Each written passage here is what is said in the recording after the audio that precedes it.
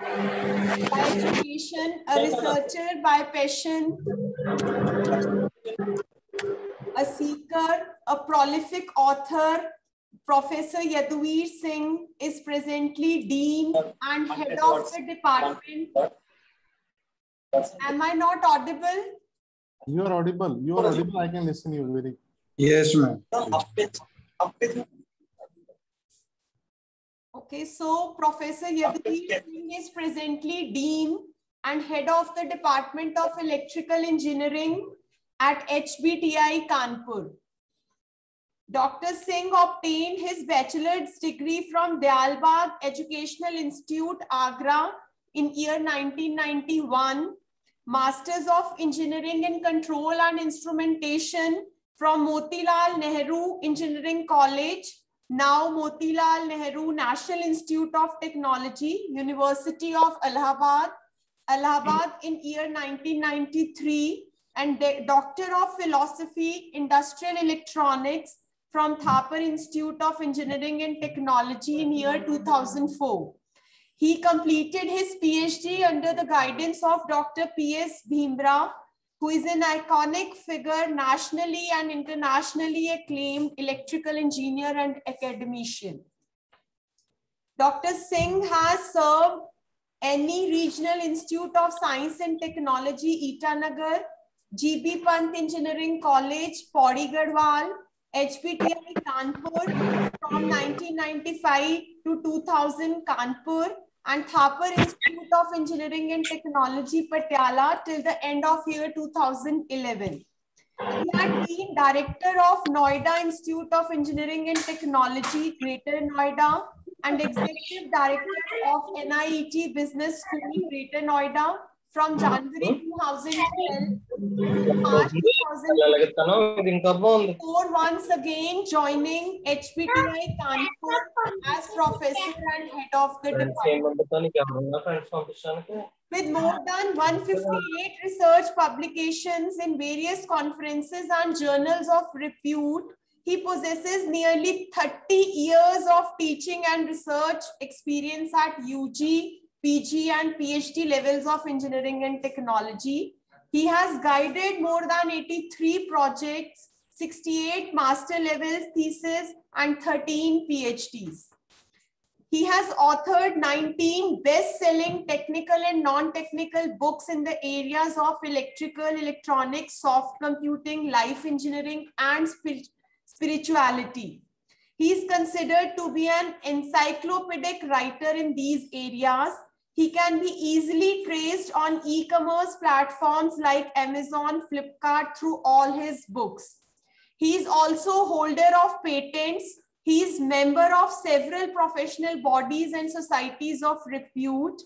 His spiritual and life engineering books, Life, A Continuous Journey, Death, Demystified, Himalaya, The Spiritual Abode, Experiencing the God, Tumbin, Without You, 2020 and 2021, the cartoon book, The Ghost, Power of Subconscious Mind, Becoming Rich, and Power of Positive Thinking, and engineering books like Modern Control Engineering and Electromagnetic Field Theory are big hits and the best sellers.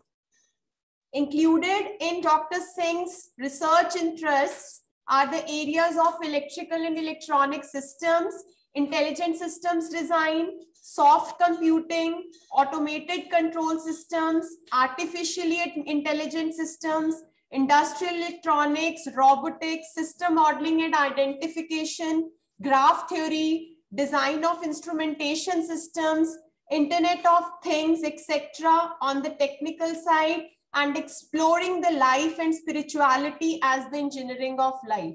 I'm very proud to have him as the part of our FDP and he'll be telling us a lot about IoT in electrical vehicles today.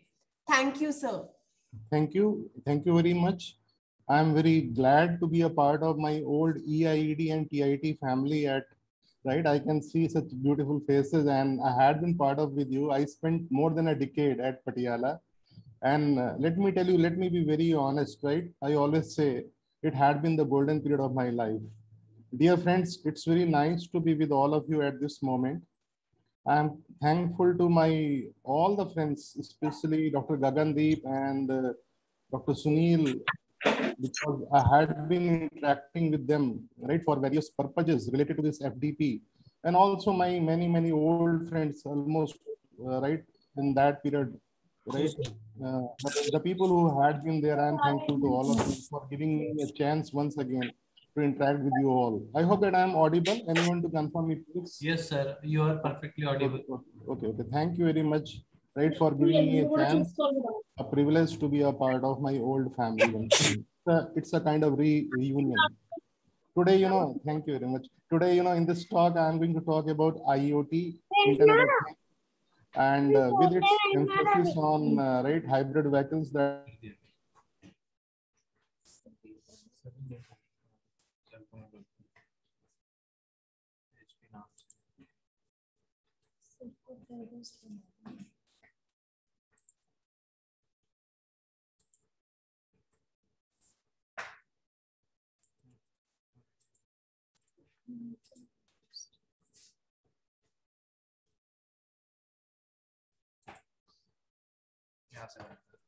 hello.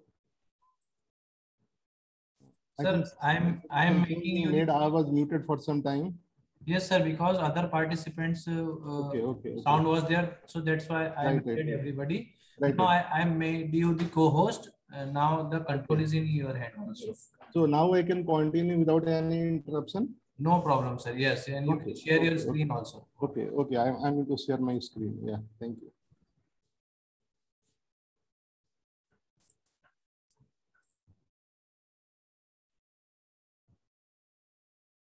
I hope that the screen is visible. Hello, anyone to confirm me, please?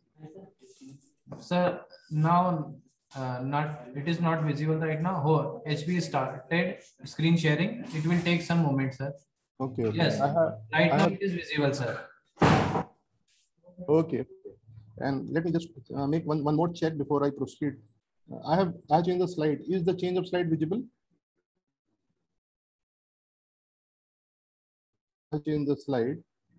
These all are internet traffic issues, nothing to do with, uh, right, the issues at my end or at your end. Can you see the change of slide also? Please confirm if it has happened. Can you see the changes of slides happening? Yes, sir. Okay, okay. So changes are visible now. Right. So I go back to the first slide that is cover slide, topic slide. Is it visible? Anyone to confirm me, please? Yes, sir. Okay, okay. So now I am quite complacent that I am audible to right all my friends on the right on the other side and also whatever I'm going to share with you is also visible to all the friends, all the participants of this FD. You know, this is what I was talking about that uh, in this two hours of talk, I shall be discussing about IoT, that is Internet of Things, and uh, what are the various issues involved, right? When we design an IoT application, what are the things which we need to consider? So all those aspects uh, up to my best level of understanding, right? I select to share with all of you. And I'm quite positive that uh, right through this talk, I shall be able to give some meaning to IoT applications in electric vehicles. Electric vehicles, as I have been told, is the uh, topic of this uh, FDP. So IoT, that is the Internet of Things, uh, it is something that can be applied in most of the applications. Okay. Mm. So this is what I, I would be talking about. Hanji. Moving on to the next slide, you know, uh, I, I always say- 549. Hello. I always- 969. Hello. Am I audible?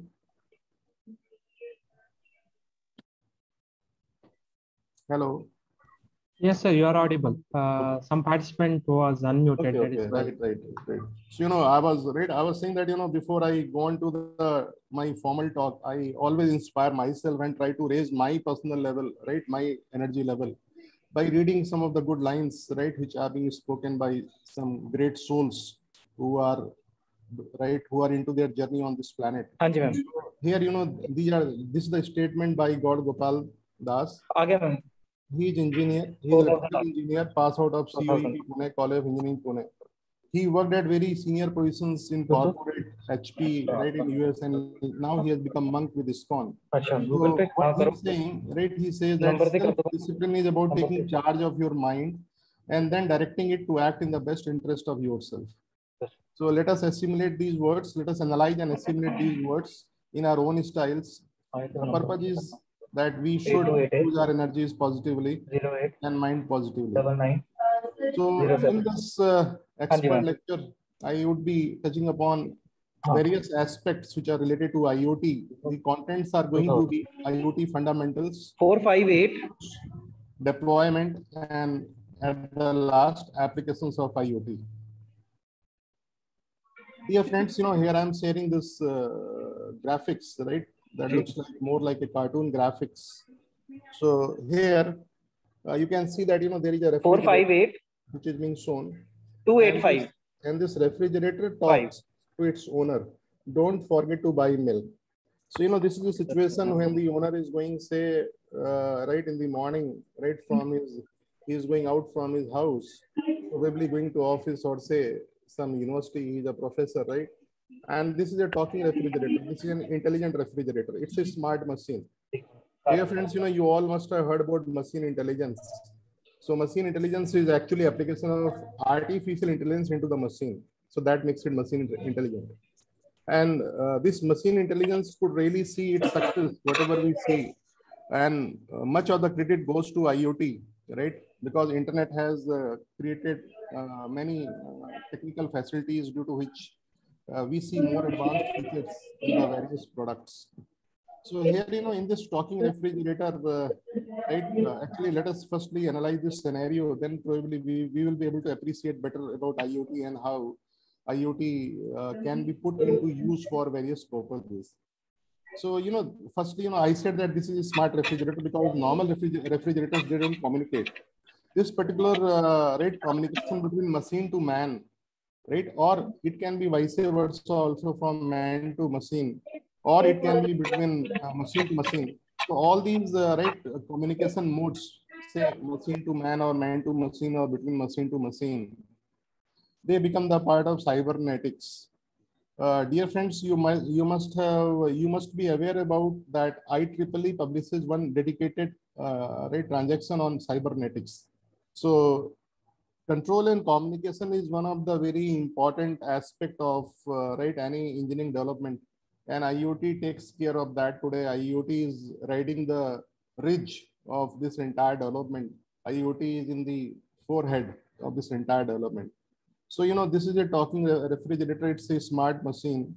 And this machine is smart in the sense that not, not only it is able to communicate to its owner but also it has array of sensors. And the machine makes out figures out that how many uh, right how many milk bottles are left. And it's a it's a right it's uh, it's an application of control and communication. So communication is happening through iot and control is there because uh, this machine actually counts the number of uh, milk bottles which are left right in the refrigerator. And the moment the number of milk bottles which are left into the in the refrigerator they the number of count happens to be below a threshold the set point or the reference the machine sends a message right? Uh, so because we are we are talking about internet of things so the message has to be sent through the internet or let's say a whatsapp message right? And then it reaches the owner that fine uh, right uh, the milk is finished. So when you come back you please uh, bring milk bottles. So whenever we uh, put such kind of features that uh, right where the machine starts talking about its state and the status and communicates it to the owner or the person who is uh, responsible for its control right operation. So this becomes uh, typically an iot application. Hello? Please confirm me that you are able to listen me. I have changed the slide also hello Yes, sir. Audible. Okay, okay. So now, so IoT, right? We are talking about IoT. IoT, uh, in I, we see that uh, we need to have, uh, it is made up of two words precisely, right? Of acts between these two words, internet. So today, internet is an entity. It's a separate entity. It's a co commodity, right? We have so many internet providers. So it's a very competitive market. All right. And then we talk about the things. So things, what, what are those things? These are the sensors, right? Which we talked about. So this is a connection. This is a connection via the internet among the sensors and the actuators. Actuators are the things which actually facilitate the control. For example, right, uh, right, say, for example, you know, actuators are like, you know, motors. Say you have given a command, right, to the controller that is operating a gate has to be opened or closed.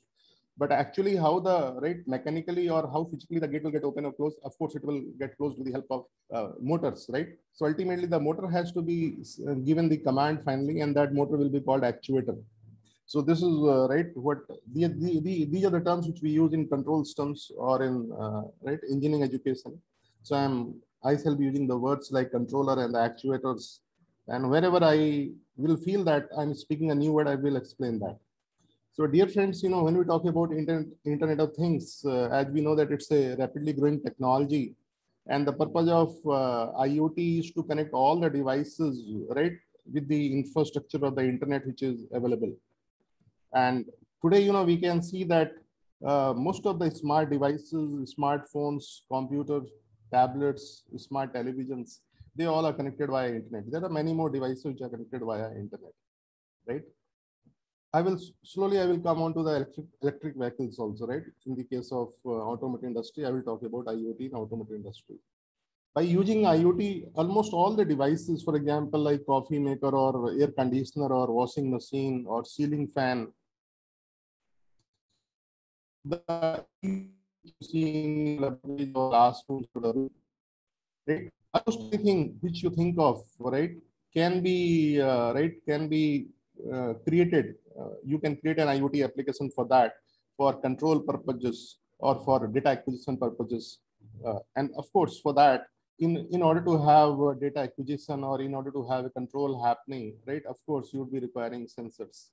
So there is a great deal of instrumentation which will go into in the development of IoT application. We would be using sensors, transducers, data acquisition devices, signal conditioning circuits, and many more, along with the actuator controller, etc. Right. So this particular graphics, I hope that you can see the change of slides also. Now I am showing a picture now. I'm showing a picture. Can you see the picture about IoT? Hello. Yes, sir. Okay. So, you know, uh, in this picture, I'm just uh, right uh, elaborating the fact that IoT is being used almost in every domain.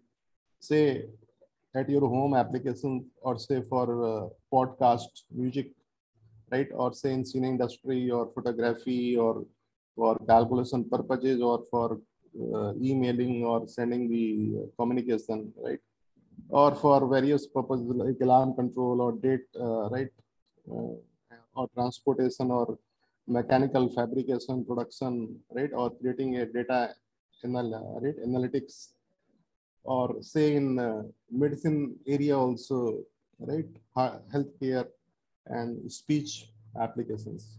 So almost, you know, there is hardly any domain, right? There are the few uh, applications which I have shown, but there are, uh, right, wherever you think that there is a requirement and the existing technology cannot address the particular issue, then probably Internet of Things can fit into that. So the feasibility aspect has to be checked right? It is, uh, it would be futile to say that IoT has to be put everywhere. No, it's not that, right? I always say for the last 20 years, I had been teaching AI. So people get fascinated towards neural network or fuzzy logic, but I always say, not I always say, rather all the researchers say about that.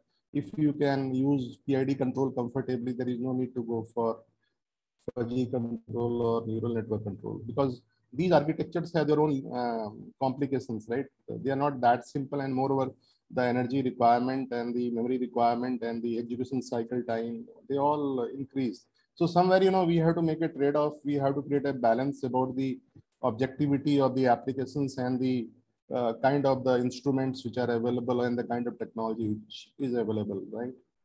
So if uh, you see that there is some problem or issue which qualifies to be uh, solved by the way of uh, Internet of Things, go use it. Else don't use that. Use the other alternatives. So dear friends, once again, I am revisiting Internet of Things, although I have made some small background about IoT, but it is always good to read again and again because that goes into deeper memory of a, a brain. Internet of Things is simply a network of interconnected objects which are able to collect and exchange the data. Uh, dear friends, you know, uh, data is the most primary thing, like, you know, pri primal thing and the primary thing, like, you know, when we say that if you keep on breaking some material, ultimately you will be left with the atom, right? The other people have gone further down, they say that you will be left with the bosons, right? So but yes, there would be a level. Similarly, you know, when we talk about most of the engineering applications, uh, so somewhere, you know, we have to work on the data, right? From the data, we construct the information and then uh, we process that data or we use that information logically to solve the problem. So similarly, in the case of IoT, Inter Internet of Things, uh, right, which is primarily a network of internet. So we use many objects right? Of course, the object which has to be used for collection of the data is sensor. This is what we had been teaching to all our, uh, you know, students. So it is a sensor that picks up the physical data from the field, right? If it is temperature and that has to be collected. So of course you would be using some kind of temperature sensor, right? So if it is a pressure measurement device, uh, pressure uh, is the variable and you want to pick the data for that you have to use a pressure uh, sensor for that purpose, right? Strain gauge or some other uh, something LVDT or something has to be used for that purpose. An exchange of the data because once the data has been acquired, right, it has been captured by the sensor and it has been transduced, right, and also converted into suitable form. So you may like you may like to send it to some other machine for certain purposes, say for report making, or you may like to send it to some machine for data analysis so there would be, so there would be, right, of course, you know, from after the collection of the data, surely there is going to be exchange of the data, right?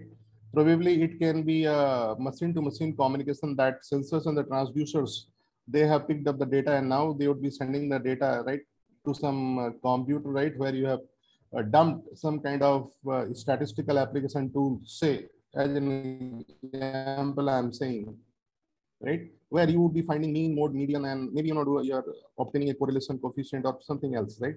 So there has to be a communication between the device, one device to another device, a machine to machine. So that happens, right, in the case of any IoT application. So exchange of data uh, has to happen, right, so as to give a complete meaning to the application. And this uh, Internet of Thing is abbreviated as IoT, which is very popular, right? And it's a simple way to in a simple way to put it uh, put the things mean sensing and collecting the data.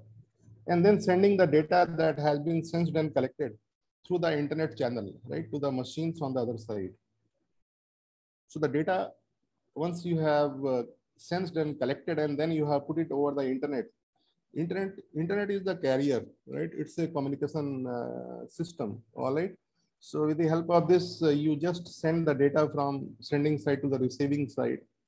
So once the data has been sensed and collected at one end, and then if you put it onto the internet uh, based communication system, surely it is going to reach the other side, right? Depending upon what is the address or where is the receiver, right? What which receiver you want to send the data to. So this thing is going to happen, right? The data can be accessible by other things also. So in the case of Internet of Things, uh, there is Internet and there are things. So things are going to include sensors, uh, data acquisition systems, and then uh, right uh, the things other other things like uh, controller, actuator, etc. IoT has become one of the most important technologies of re recent times, 21st century. So now we can connect everyday objects like, you know, in household, uh, say kitchen appliances or say cars, right? This FDP is all about electric vehicles. So you can connect the vehicles, right? You can create an IoT application for the vehicle. right? Especially, you know, with the electric vehicles, since battery is one of the very important element in the electric vehicle. So the state of uh, battery, that is uh, how much it is charged or what is the level of its discharge. So the charging and discharging profiles are going to be a very critical information, right? In the case of electric vehicles. And you need to put the sensors for finding, sensing the data and collecting the data over a period of time for its charging and discharging profile so that you could really design suitable controllers. That is one thing. Or if you want to create some kind of IoT application for electric vehicle, that can also be created. But for before that, before designing a controller or for uh, or before creating an IoT application for electric vehicle, you need to understand, right? What are the characteristics of its key elements like battery and others. IoT is also used right in various other purposes like uh, for temperature data sensing and then sending it to the doctor or for baby monitoring purposes, right? See, you know, CCTV cameras, they are partly uh, IoT application. Why I'm saying partly, you know, let's uh, create a situation. Let's analyze the situation. Say both husband and wife, they are uh, office goers, right? They go to office in the morning and uh, back at home, right? You have maid left or uh, right some other lady left who is taking care of your child or children.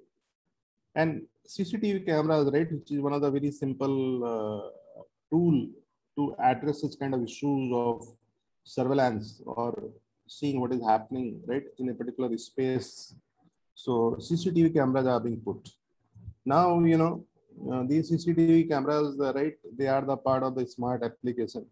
So whatever data is being collected by the CCTV closed circuit television cameras, right, it is being continuously sensed, collected, and then it is also being sent via the internet, right, over the mobile phone or say on the PC of the person, right, who can see, right, and that person can see from uh, his location that uh, what my children are doing or what the maid is doing, right, or what that particular lady is doing, who is taking care of my children, how they are taken care of.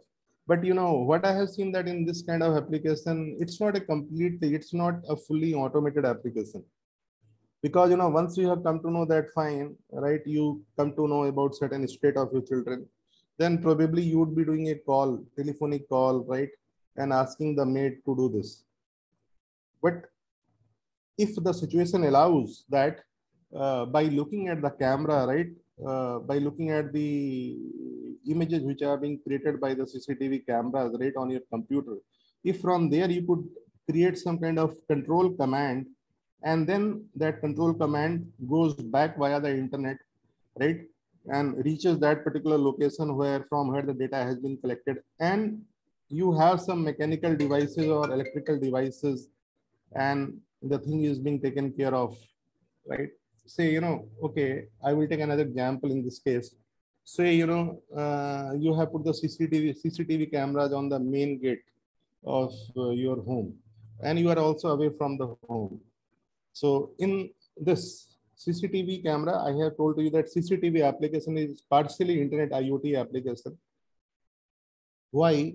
Because, you know, the device which is there is camera. So with the help of the camera, you are continuously picking up the optical data, image data, picture data.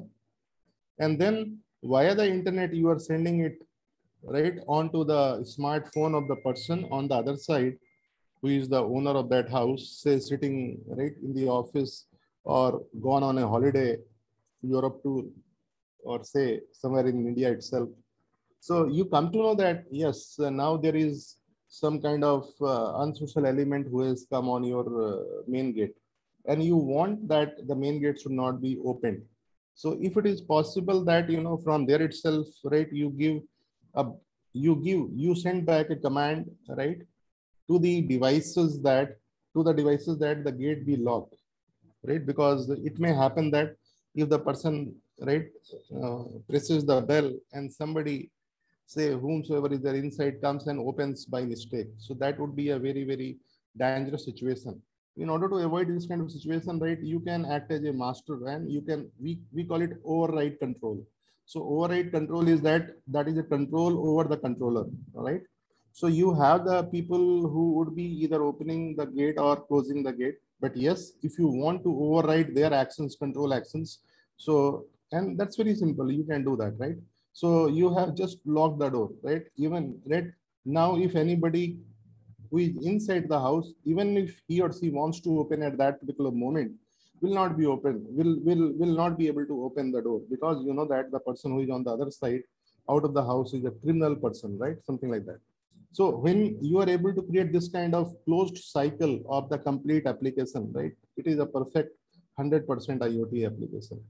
Otherwise, you can partially create IoT applications, but it is always good to go for full automation if it is being allowed in the various situations and the scenarios, right? You can go for a complete automation using IoT both ways, right? Right now we are using IoT one way only that through the IoT, you have come to know that there is somebody who is standing outside. Now you do a telephonic call. Of course, you are using it, uh, right? You are doing, uh, you are using mobile uh, system, right? So you have changed the mode of uh, your control and communication. So it's not uh, full IoT application. It is a partial IoT application. Hello. Anyone to confirm me, please? Hello. Yes, sir. Okay, okay. You know, because it's a it's a drawback of online teaching. We don't know whether people on the other side are there or they are not there. Okay. So this is what we experienced over the last one and a half year, especially in the corona times. I can see probably Gagan, right? Gagan has also joined. So this is what this is what I was talking about, right? We can use IoT for various purposes, right? Household applications, security, safety purposes, and all these objects, whatever, right? Whatever we think are suitable to be put in into the IoT application, they are to be connected via via internet, right? And then the IoT internet makes a seamless right very efficient communication right possible between the things and the things. I spoke about that cybernetics. Cybernetics is one of the area very important area right? It had been one of the gray area and where people are doing continuous research control and communication right? So the data has to be controlled. Some data has not to be put over to the uh, communication system some data has to be eliminated some data has to be reconstructed so it's a big deal altogether, right? Working on the data, working on the information, control of the data for its nature, and also the communication of the data and the information, right? That becomes a part. So control and communication, right? That becomes a part of cybernetics. So IoT, right? Uh, IoT is always worked in the light of control and communication, right? In the IoT is one of the subject area of cybernetics. Now, this IoT uses, uh, uh, today IoT uses very, very simple devices, right? I shall be talking about hardware and software both. So by means of low cost computing, the cloud, big data, analytics, and mobile technologies, the physical things can share and collect the data with minimum, minimal human intervention. And in today's IoT, right, in today's internet connected world, what we call as it is a hyper connected world. Right now, see, I'm sitting at Kanpur. You might be sitting at, you are at Patiala, and maybe, you know, your other participants are at very, very, uh, various other places. And we are connected to one another on the real time basis. We are interacting, right? So this is a hyper connected world, right? What we had been talking 20 years before the concept of global village, probably internet has made it possible today and the IoT applications have made it possible today, right? So the working on videos and then uh, right getting connected has become a big reality today. So it's a hyper connected world. The digital data, the digital systems, uh, right, can possibly do many many things like uh, recording the data, monitoring the data, and then adjusting the level of the interaction between the things. Right, level of interaction means uh, the help of communication protocols, right, you can always uh, control the data, right, that has to be sent from device A to device B, right, from device B to device C. If you want to stop certain data, right, So that is being done with the help of com uh, communication protocols and the control, right? And the control as control takes care of that as well. All right. So this is this right. The physical world meets the digital world, and uh, they cooperate with one another. What made IoT possible? This is one of the very big question, right? Which we should always answer, right?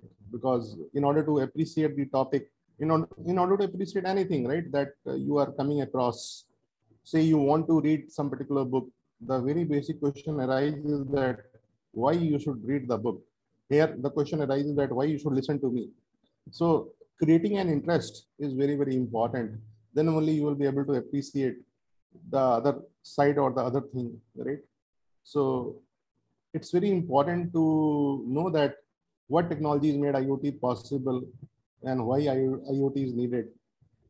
While the idea of IoT had been in existence for a very, very long time, but in the recent times, uh, number of different technologies, they really made IoT possible.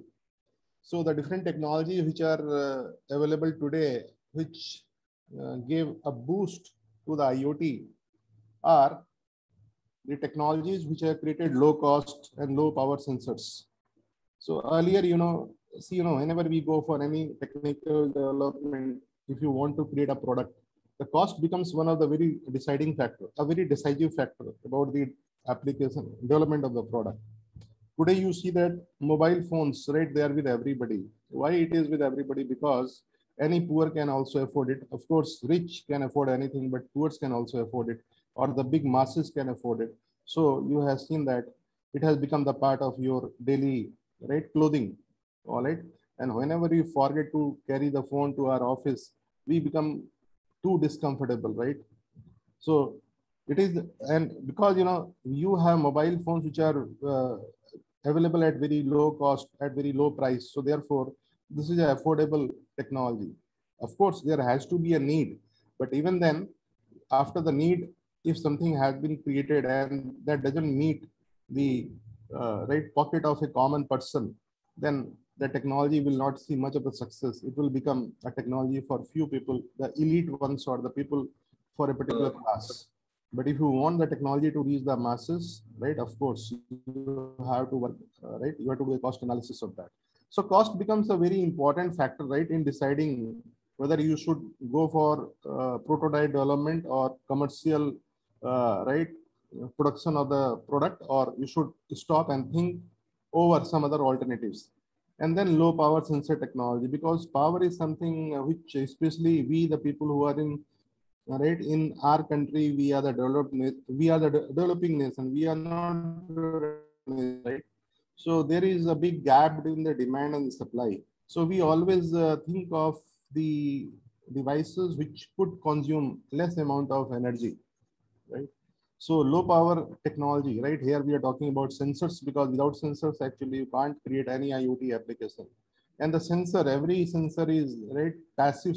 It's a passive device, right? It's not an active device. 99.99 rate sensors which you see, they are passive devices. Passive in the sense that for the device itself to work, you need to supply some energy, right? Like in op amps, right? We are giving supply, right? Uh, plus, uh, and minus, uh, right? Supply voltage we are providing. That is that particular supply voltage has to do has to do nothing with the input side. It has to do everything with the device for it to work, right? So for op amp to amplify the signal given, you need to give the supply voltage so that the op amp is made alive. Otherwise, op amp is dead. All right. So you need to. So these uh, uh, power, right? Especially whenever we talk about new product development, we always work on the energy calculations or the power consumed calculations, right? And we wish that power or energy, right, they should be on the minimum side. So cost and the low power sensor technology, which is available today, that made IoT a big success. Otherwise, had it been costly or had it been high power, uh, right, high power consumption based sensors, so IoT applications would not have seen the kind of the scale which we see today. So affordable and reliable sensors have made IoT technology possible for many, many manufacturers.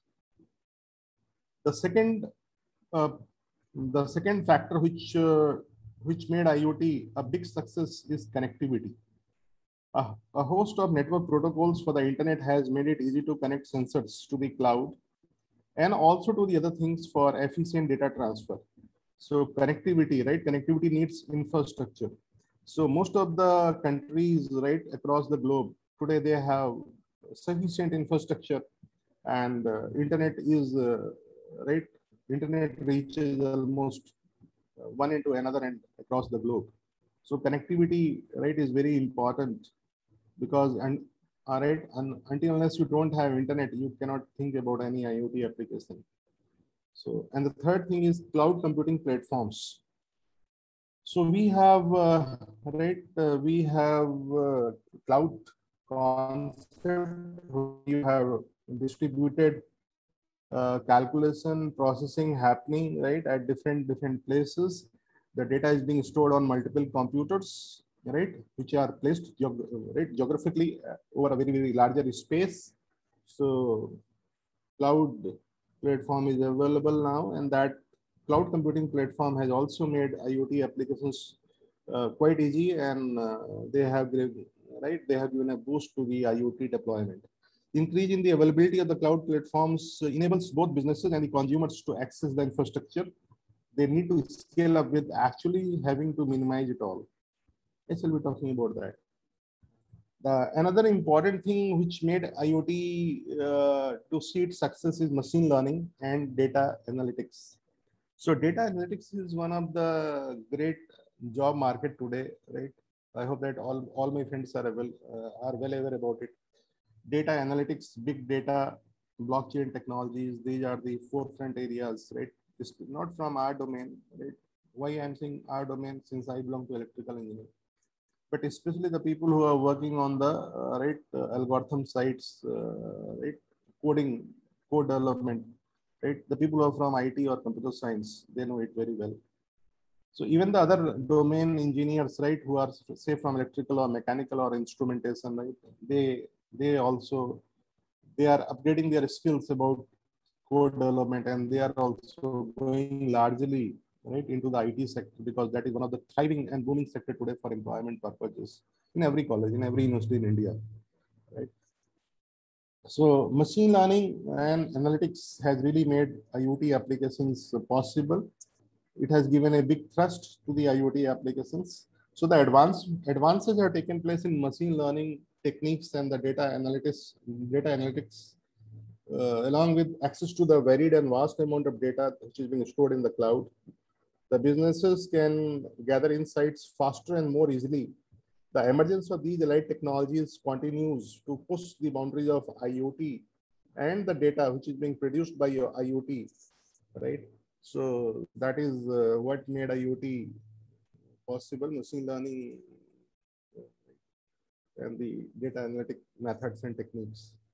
Conversational AI, that is also another very, very important factor which uh, right? Which is which created so many IoT applications. Conversational AI means, uh, let's read that. Advances in neural networks have brought natural language processing, what we call as NLP, to the IoT devices like uh, Alexa, Cortana, Siri, right? They are known as digital personal assistants. And they have made them appealing, affordable, and viable options for the home use. I hope that many of my friends, they know it very well. So these are the gadgets, right, uh, which work on conversational AI. So, right, like, you know, on Alexa, right, you, uh, on the device, it's, uh, right, that is a device which is connected through the internet, all right. So, uh, right, you search, you just speak on the Alexa, like, you know, you are talking to somebody, like, you know, in our classrooms, student ask questions to us. In the same way, right, we if you don't know certain thing right you don't know answer to some question right right or you want to uh, set certain options you speak. You speak over uh, alexa that please tell me right who are the best doctors uh, right near to say thapar institute. So this alexa is going to search right the best doctors ratings the doctors which is available over the internet and going to tell you that right uh, so so so many so many so many doctors are available and you can do all right so Alexa. So Alexa, Cortana, Siri, these all are AI gadgets, smart devices, talking devices, right? So conversational AI also made it possible, right? Conversational AI is one of the technical advancement which made IoT possible. So the concept of IoT is simply to connect the devices with the internet and make them smart and smarter. IoT is an interrelated system of software, electronics, sensors, machines, and many more devices that depends upon the application. IoT includes all those objects which can be assigned an IP address because that's very important. Otherwise, how you are going to identify the device? It's like roll number of the student or employee ID of employees and can connect to each other for the purposes of transferring the data. Hello. Are you connected on the other side? Anyone to confirm me, please? Yes, sir. Okay. So the examples of IoT are autonomous cars or the smart cars like Hector MG, home automation accessory or building automation accessories like Syska smart LED bulbs, Google Home or Amazon Alexa, smart television or MI smart plug. So these are the various uh, products which have been created using the concept of IoT. Smart healthcare devices like Apple's smart watch, right, which continuously measures your pulse rate, right, or heartbeat, or oxygen level is being monitored. So there are various healthcare devices which have been developed. So one, right, for example, a smart Apple smartwatch is going to make a continuous uh, collection of the heart beat rate of the person who is putting the watch right on his wrist or her wrist.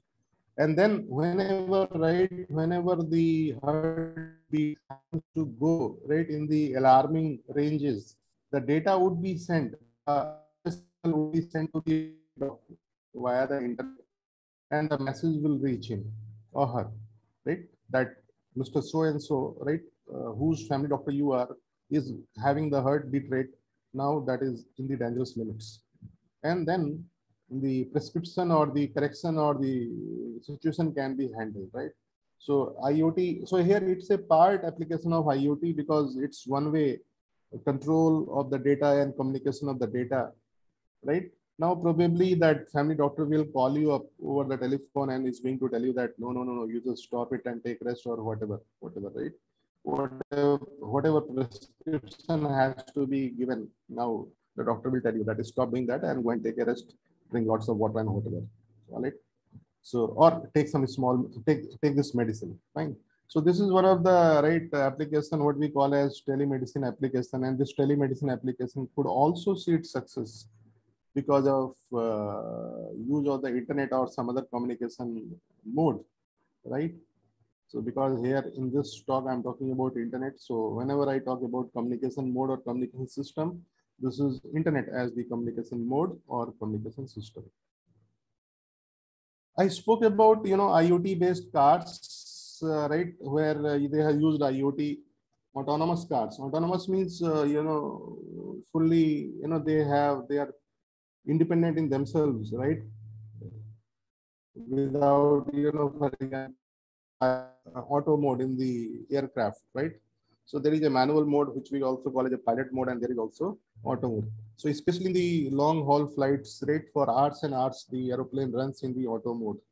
So auto mode is uh, that is autonomous mode, where uh, the sensors of the object and the controller or controllers in the object, they take complete command, right? All the control and the communication of the data that happens between machine to machine all right and now the object uh, is being made to perform in the stable mode remain stable or work as it is expected right so in this car right uh, in uh, now hector hector mg you can see in india i see many are at kanpur also at delhi also so you might have seen so hector mg is one of the smart car mg is morris garages it's a british automotive company so off late, you know, they have launched their cars into the Indian market, right? Indian market. And this uh, car is said to be a talking car. You can talk to it and uh, it is an autonomous car, right? It has got many of its uh, control applications, operational features where uh, you need not to do anything, it will do everything, right? So if you are feeling drowsy, right, it is going to see that, right? It is continuously mapped to the GPS because internet is there. So it is a Google support which is being offered to the car for giving continuous coordinates of the place, right? With time, all right? And then uh, this is all about the location or the position of the product uh, of the car. And then on the real-time basis, right, if uh, there is some kind of uh, danger in front, the car is going to take control and going to stop on the side, right? So there is acceleration control, deceleration control, navigation control, right? That is uh, overtaken by the controller, especially in the dangerous or the alarming situations, right? And then you can always, right, you can talk to the devices, right, which are installed in this particular car, right, like Alexa or Siri, right? You can always say, please, uh, please play song by Mohammed Rafi, right? This particular song. So that particular song will be on the internet database and will be played by the uh, multimedia devices. That is going to happen. So Morris Garages in its uh, right uh, car, they have given a lot many features which are IoT based and a lot of automation, right? They have created in, in the car. It is said to be intelligent car, like you know the phones which we have smartphones. So this is a smart car, unlike other cars in the Indian market, right? Where you have IoT and uh, many more features are there. It's a British automotive brand which has set its uh, innings in India now, and it is a very heavily, it has a very heavily localized vector it is available okay okay okay right so the aspects my my purpose here is not to do marketing of hector amg since this particular dp is all about electric vehicles so it is uh, very necessary to take some living examples because living examples right they give more inspiration. Otherwise it uh, right the thing whatever is being spoken seems to be more fictional or imaginary imaginary in the nature right? But if you could correlate that yes we can uh, right add these, these, these features in the electric vehicles, right? Uh, say we can create an IoT application for that based on its uh, some other similar product, right, which is already into the use. Then that makes a more uh, sense and establishes more credibility of the statements spoken by the speaker, right? So just for that purpose, I wanted to show it. Otherwise, I had no intention to do marketing of Hector MG. IoT advantages, uh, right? When we talk about the Internet of Things advantages, uh, so of course we have many many advantages. One of the advantages is data. To more the more the more the information, the easier it is to make the right decision. That we all know very well. In fact, when we talk about artificial intelligence, dear friends, right? Those who had been working on neural neural network or fuzzy logic, or the algorithms like you know genetic algorithm or genetic programming or optimization algorithms like uh, ant colony optimization right or uh, perturb and uh, right observe p and o algorithm or many uh, right algorithms are there swarm particle optimization right so you might have seen that actually we work on the data right we don't work on the mathematical model of the system rather we work on the data that belongs to the system so data is uh, right. Even if you develop the mathematical model, you carry out every possible mathematical analysis. Ultimately, you would be getting the observational data. That is the whole purpose. So when we talk about IoT, right? IoT, the best part of IoT is that there is a very less deal of mathematics. Yes, what I need, I need uh, input and output data because I need to understand the behavior of the system for which I need to create an IoT application. I want to characterize the system. So until I don't have the input and output data, that is the observational table with me, right? For the system, how, how, I, how I will be able to understand the behavior, how I will be able to draw a graph between the input and the output, right? Whether it's linear device or nonlinear device, then what is the nature of that? So dear friends, you know, when we say data, that's very, that makes all the sense, right? So in internet, we always talk about the data and the information. So the more and more information, it is the right decisions, knowing what to get from the grocery while you are out. As an example, I have written over there, without having to check on your own, not only save your time, but also it is convenient. So data, right? So one of the big deal that why IoT has seen a great success and where, uh, right? And also its applications are scaling up like anything, right? So that is because it works in the data. The second very important advantage of IoT is tracking. The computers keep a track both on the quality and the viability of things at home. Knowing the expiration date of the products, right, of food products, of medicines before one consumes. So as a result, it also improves the quality of life and above that, it makes the life safe. So you will never run out of anything when you need it at the last moment. So tracking or regulation, right, is also one of the, because in IoT, actually you would be using some controller or you would be using computer, right, which will be there in the heart of IoT, all right. So you are going to have a continuous uh, data collection and data storage. So you can collect every data, right? Even you, right, you can collect the data about the expiration date. And right the moment right like you know in the in the very beginning i had shown to you a talking refrigerator. So that talking refrigerator in that image was telling about the number of uh, the volume of the milk which is left right?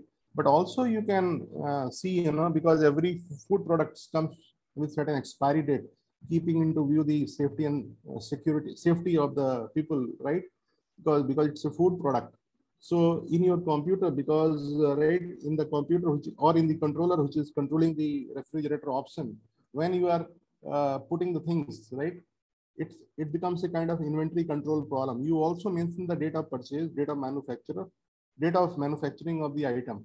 So this particular machine is going to tell you even if there are say sufficient number of milk bottles, but they have crossed the deadline of their uh, right uh, safe self storage so in that case also it will tell to you that uh, you remove or replace the old milk bottles which are not consumed and now they are expired. And today in the evening you bring right this much of uh, so many number of milk bottles because they will be consumed by you or your family members so tracking is one of the feature because uh, we as human beings are not able to track much right because of our limitations of time and energy and also of the memory right but if you have a machine, of course, right, you use machine as your personal slave, right?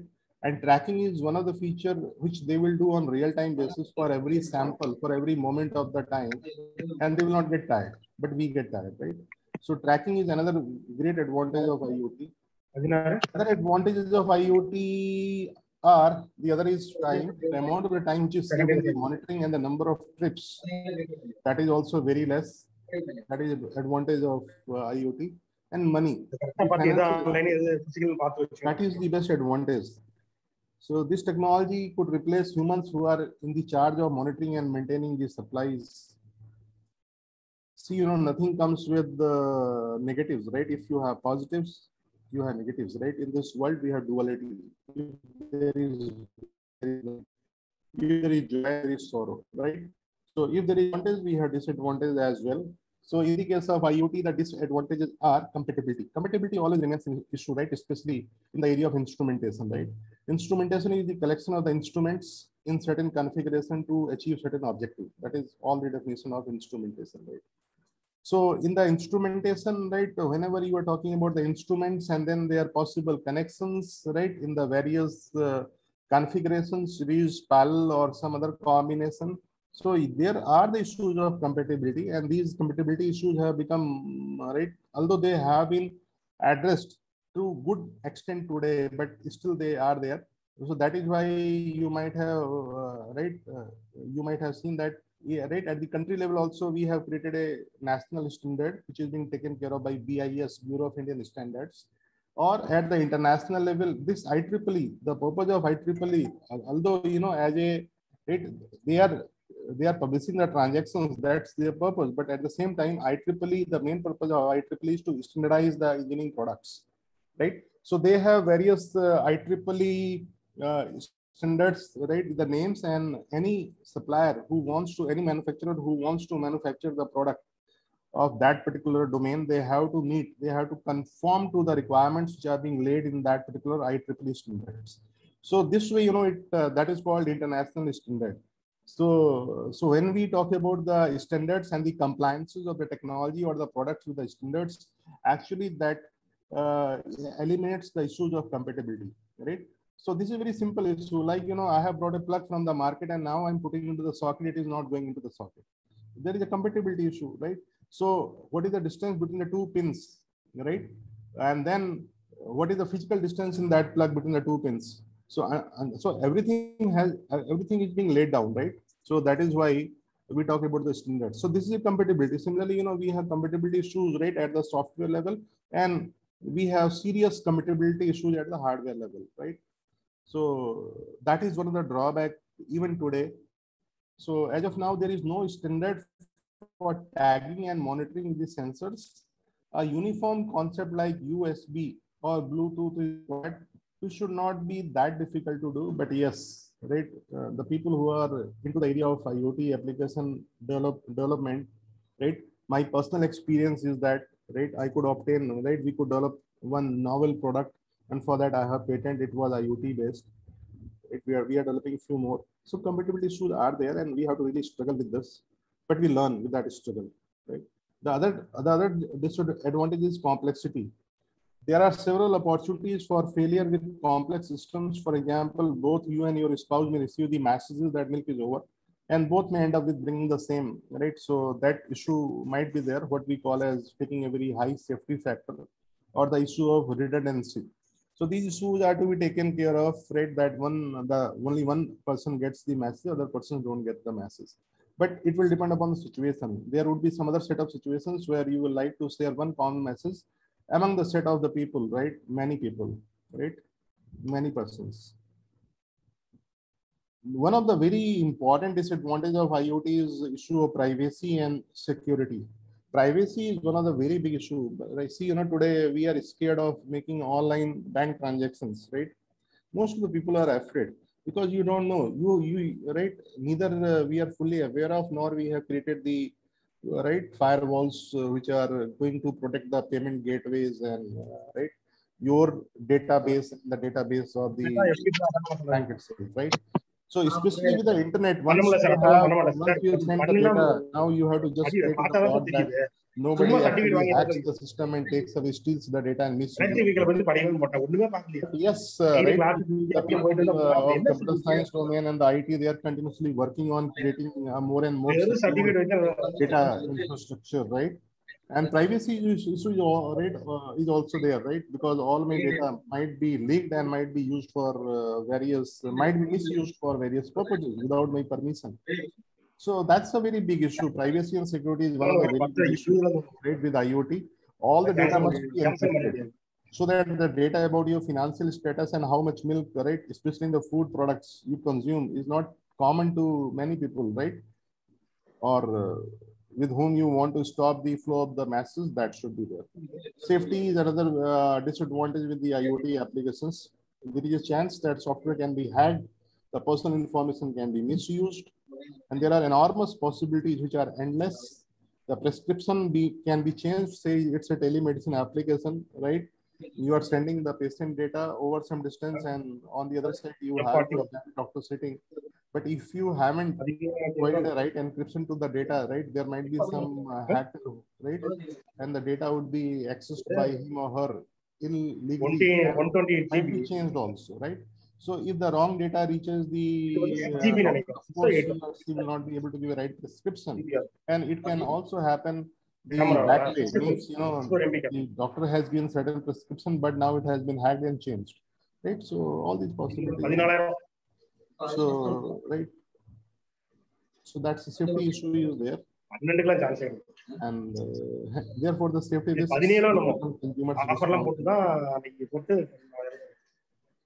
Hello. Are you able to listen me? Hello. Anyone to confirm me, please? Hello. Mobile yes, sir. Okay, okay. You are Anil Kumarji, yes? Yes, sir. Audible. You are able to listen to me. And also, can yes, you see the change of the slides happening? Yes, sir. Yes, sir. Right now, the title is Who Gave Concept of IoT? Yes? Correct. Okay. Yes. So, you know, the IoT describes the network of physical objects, which what we call as things, that are embedded with the sensors, software, and other technologies for the purpose of connecting and exchanging the data over the by using the, in the month end. IoT has evolved due to the convergence of multiple technologies, the real-time data analysis, analytics, machine learning technology, commodity sensors, and embedded systems. Traditional fields of embedded systems, network control systems, at home or say in building or say in office or somewhere else and others. They all have contributed for uh, right success of IoT. Now let's go into the history of IoT because IoT is a very fascinating application today, right? I being electrical engineer, uh, right, get fascinated because I had been working on electronics and instrumentation side now on the internet applications for last many years. So we always, right, once we reach to one certain, to a certain level of interest, we try explore the history of that particular thing or the technology. So it's very important also to know. So who gave concept of IoT? So IoT concept way back to year 1982. So it is said to be the first IoT application. So it was a Coca-Cola vending machine. I hope that everybody understands vending machine, right? You might have seen, right, uh, at the airports. You put the money and then the things come out, right? Chocolate comes out. You have to identify the product and then you have to insert that much of the money. And then down there is a dispensing, right, a device. There is an opening through which the product comes out. So they had the in 1982, right? The Coca-Cola, it was a company I remember, right? Especially in my childhood and when I was studying, right, way back in 1980, 84. It, this Coca-Cola was a very popular cold drink, right, in that country. So, but later on, Thums Up and other, many other cold drinks came. So it was the Coca-Cola vending machine at uh, Carnegie Mellon University, right? That is the, that is the first reported internet. So what they had been doing with the help of IoT, they had been doing inventory control and also they had been doing control of the cold drinks. So that cold drinks which are there are cold off. So there were two control objectives, right? One was inventory control, another was control. And once the right this Coca-Cola vending machine at Carnegie Mellon University, right, came to know that uh, you don't have uh, right uh, the cold drinks are not quite cold.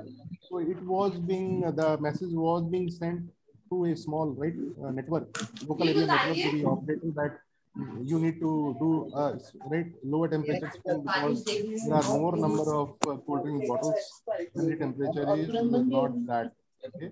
Similarly, inventory control like uh, the same thing. number of bottles are not sufficient. हाँ सबसे पहले उन्हीं का होगा फिर हमारा होगा मैंने तो दाल चावल Between 1993 and 1997, क्योंकि देश का provided solutions, Which were, which were based on IoT like Microsoft or uh, term Internet of Things was coined by Kevin Ashton of Procter and Gamble. later MIT, that is Massachusetts. डेढ़ बजे बोल दिया मैंने डेढ़ बजे बोल दिया IoT, they said it should be IFT Internet. At what point we view radio frequency it should allow computers to manage all India. Hello. नहीं हम लेकर आइएगा वहाँ फैकल्टी में that there is lot of disturbance actually. Can somebody help me participants to mute their microphones because not in classroom situation. No. इसलिए तो हमने बोला पहले नहीं ये सब सामान लेकर चलो other side, आगा भी किया था चलो can you please make your uh, microphones uh, charger चलिए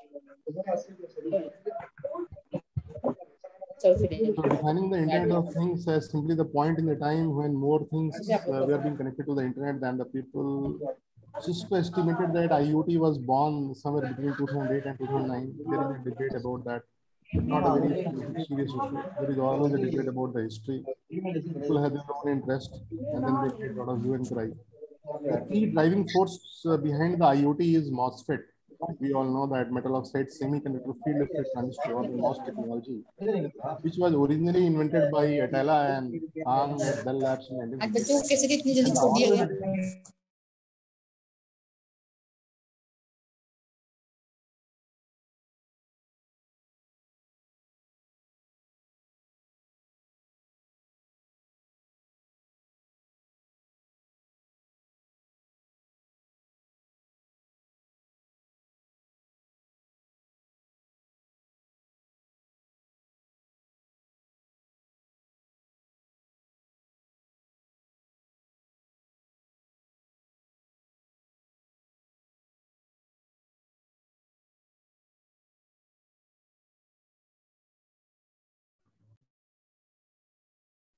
Hello.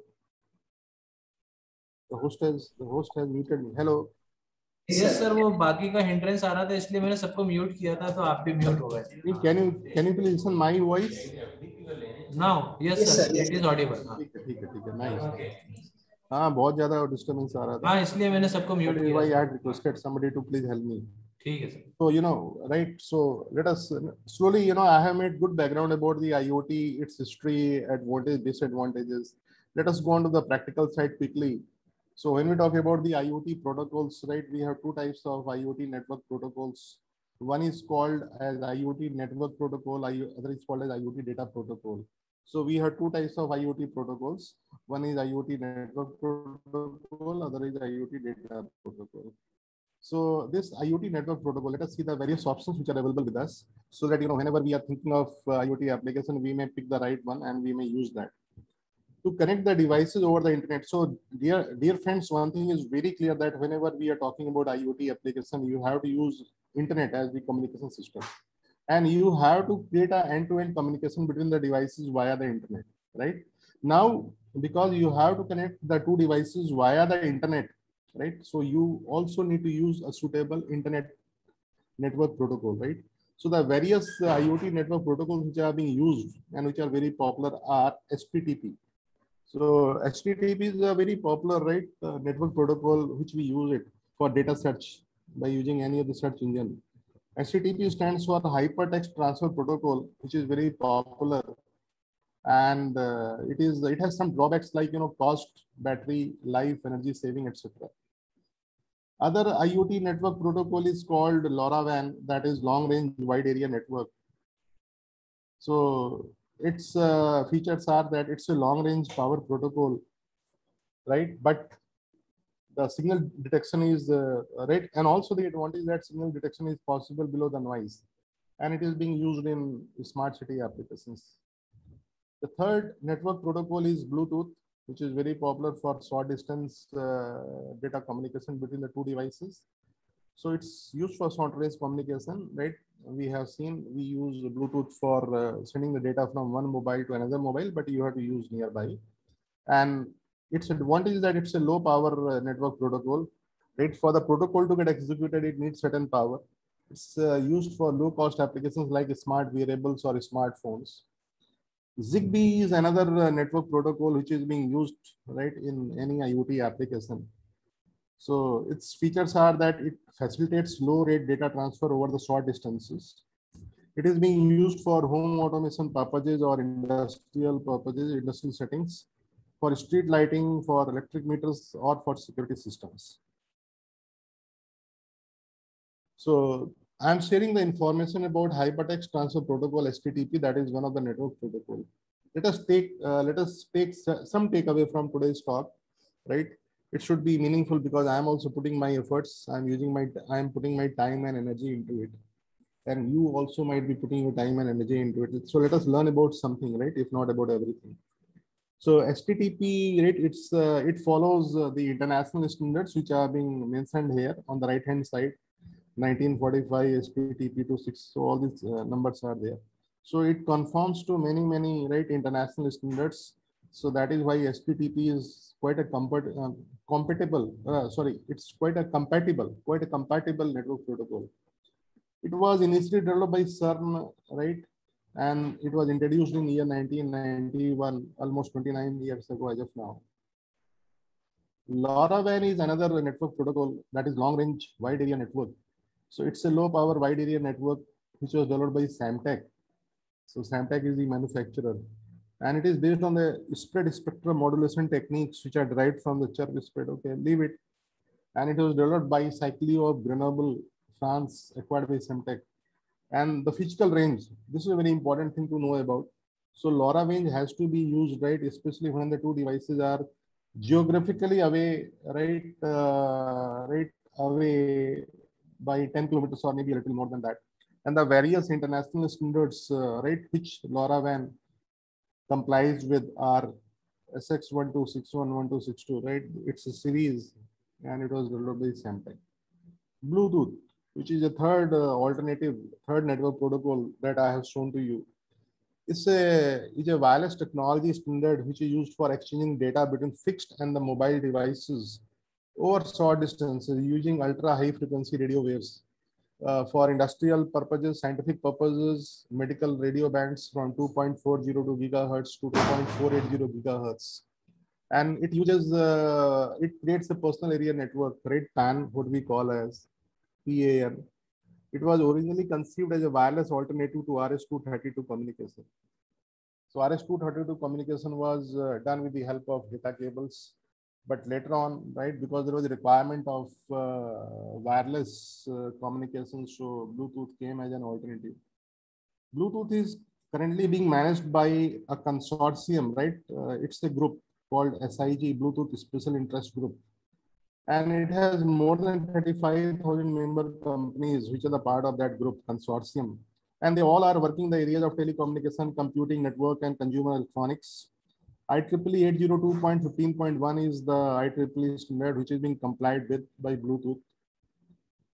The Bluetooth SIG oversees development special interest group uh, maintains oversees development of specification and manages qualification programs and protects the trademarks.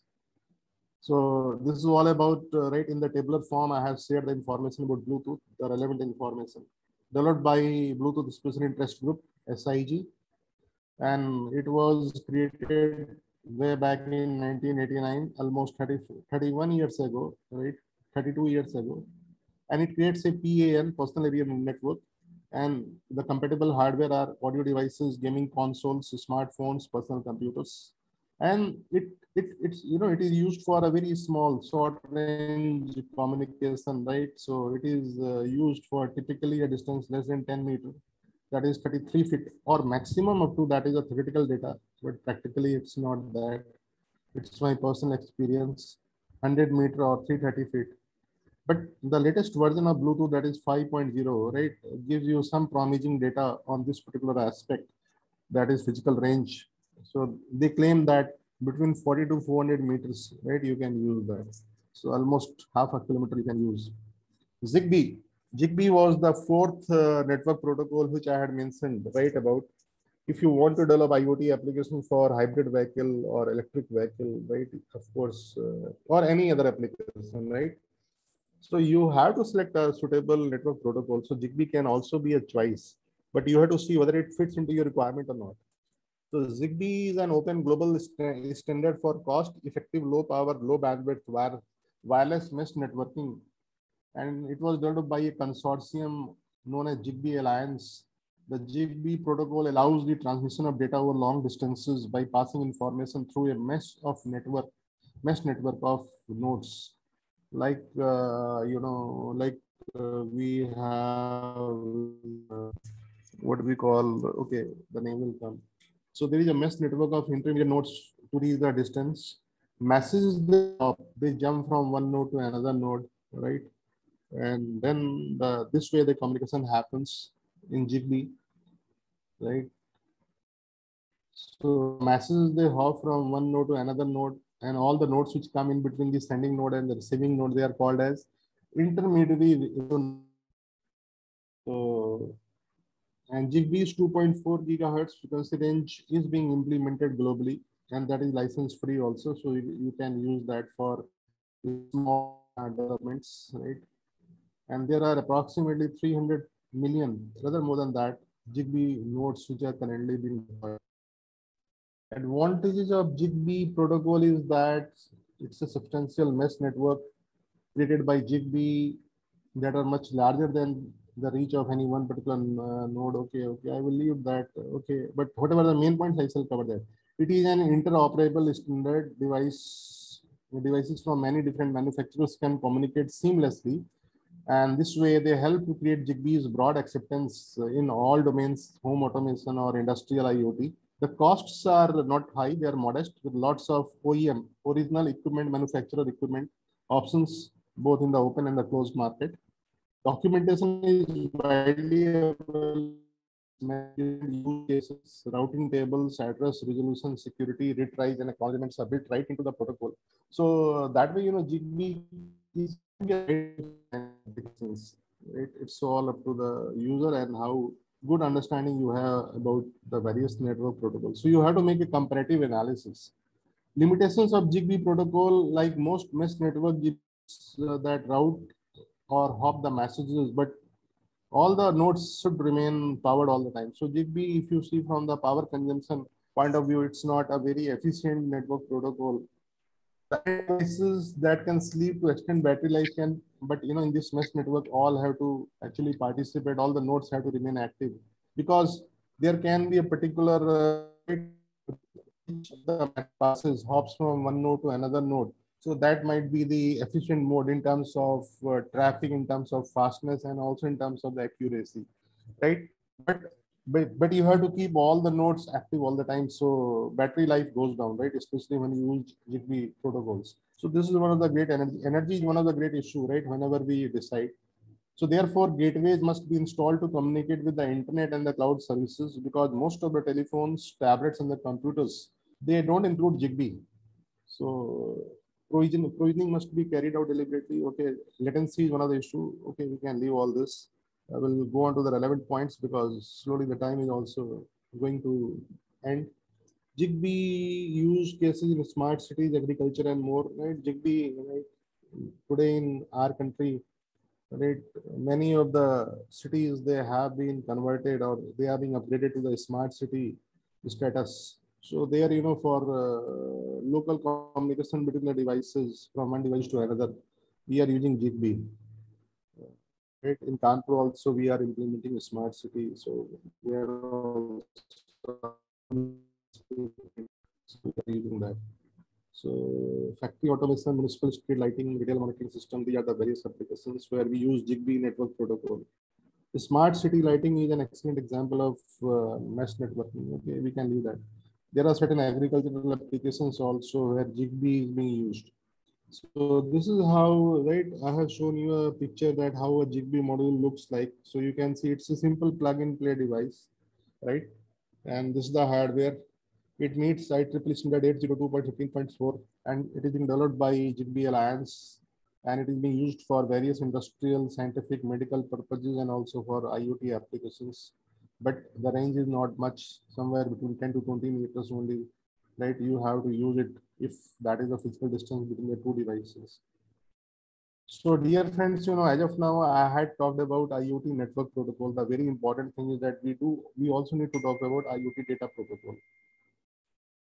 So in the case of iot data protocol uh, right for connecting low power iot devices and for facilitating point-to-point communication with hardware at the user side without any internet connection, right? So you have to use uh, certain IoT data protocols. The first IoT data protocol is called MQTT, that is Message Queue Telemetry Transport. So it is a subscribe and publish protocol that runs using TCP, that is Transfer Transmission Control Protocol what it means that it supports event-driven messages exchanged through the wireless networks, and it is it's it is used in low power. It's not LOES. It is low. Please excuse me for this uh, spelling mistake. It it is used in low power, less memory devices, and this particular data uh, protocol MQTT is being used for various applications like fire detection. So in the case of electric vehicle, right, or in the case of uh, any other hybrid vehicle, right, if you want to use IoT application. So you can create an IoT application and you can select MQTT, right? Say for fire, fire detection purpose, right? see, you know, it is also mentioned that you can use it for cars. You can mention it along with the various car sensors or in the products like smart watches or applications for text-based messaging. Another data protocol is called COAP, that is Constrained Application Protocol. So COAP is basically a utility protocol which uses internet. The client sends a request to the server and the server sends back the response to the client in HTTP. So this is what you know we use in the case of uh, right whenever you search for some data using the internet. So this is the COAP right which is being used. So this is the internet utility protocol as I have mentioned there. So the purpose is to select the right kind of data which has been fed into the machine and that is being uh, right uh, accessed through the internet from the servers and then it is being sent to the person who is searching the data. So COAP is the data protocol that is being used and uh, in HTTP. In HTTP, in HTTP, what was HTTP? If you remember, if you remember, it was it was a network protocol, right? But every network protocol, there are certain compatible data protocols also. So if you want to use a suitable data protocol with HTTP, suppose you have fixed that you would be using HTTP. So one of the option can be COAP, that is Constant Application Protocol, right? That easily fits into and gets integrated with the uh, HTTP. It uses UDP. What UDP is, that is called User Datagram Protocol, and it actually economizes the memory. It uses a small size of memory, right? Reduces space usage, and it uses binary data format that is efficient XML interchange. And COAP has um, today, you know, there are many, many applications of COAP, especially in the mobile automation and microcontrollers. Other data protocols are AMP, Advanced Message Queuing Protocol. So it's a software layer, layer protocol for message-oriented middleware environment.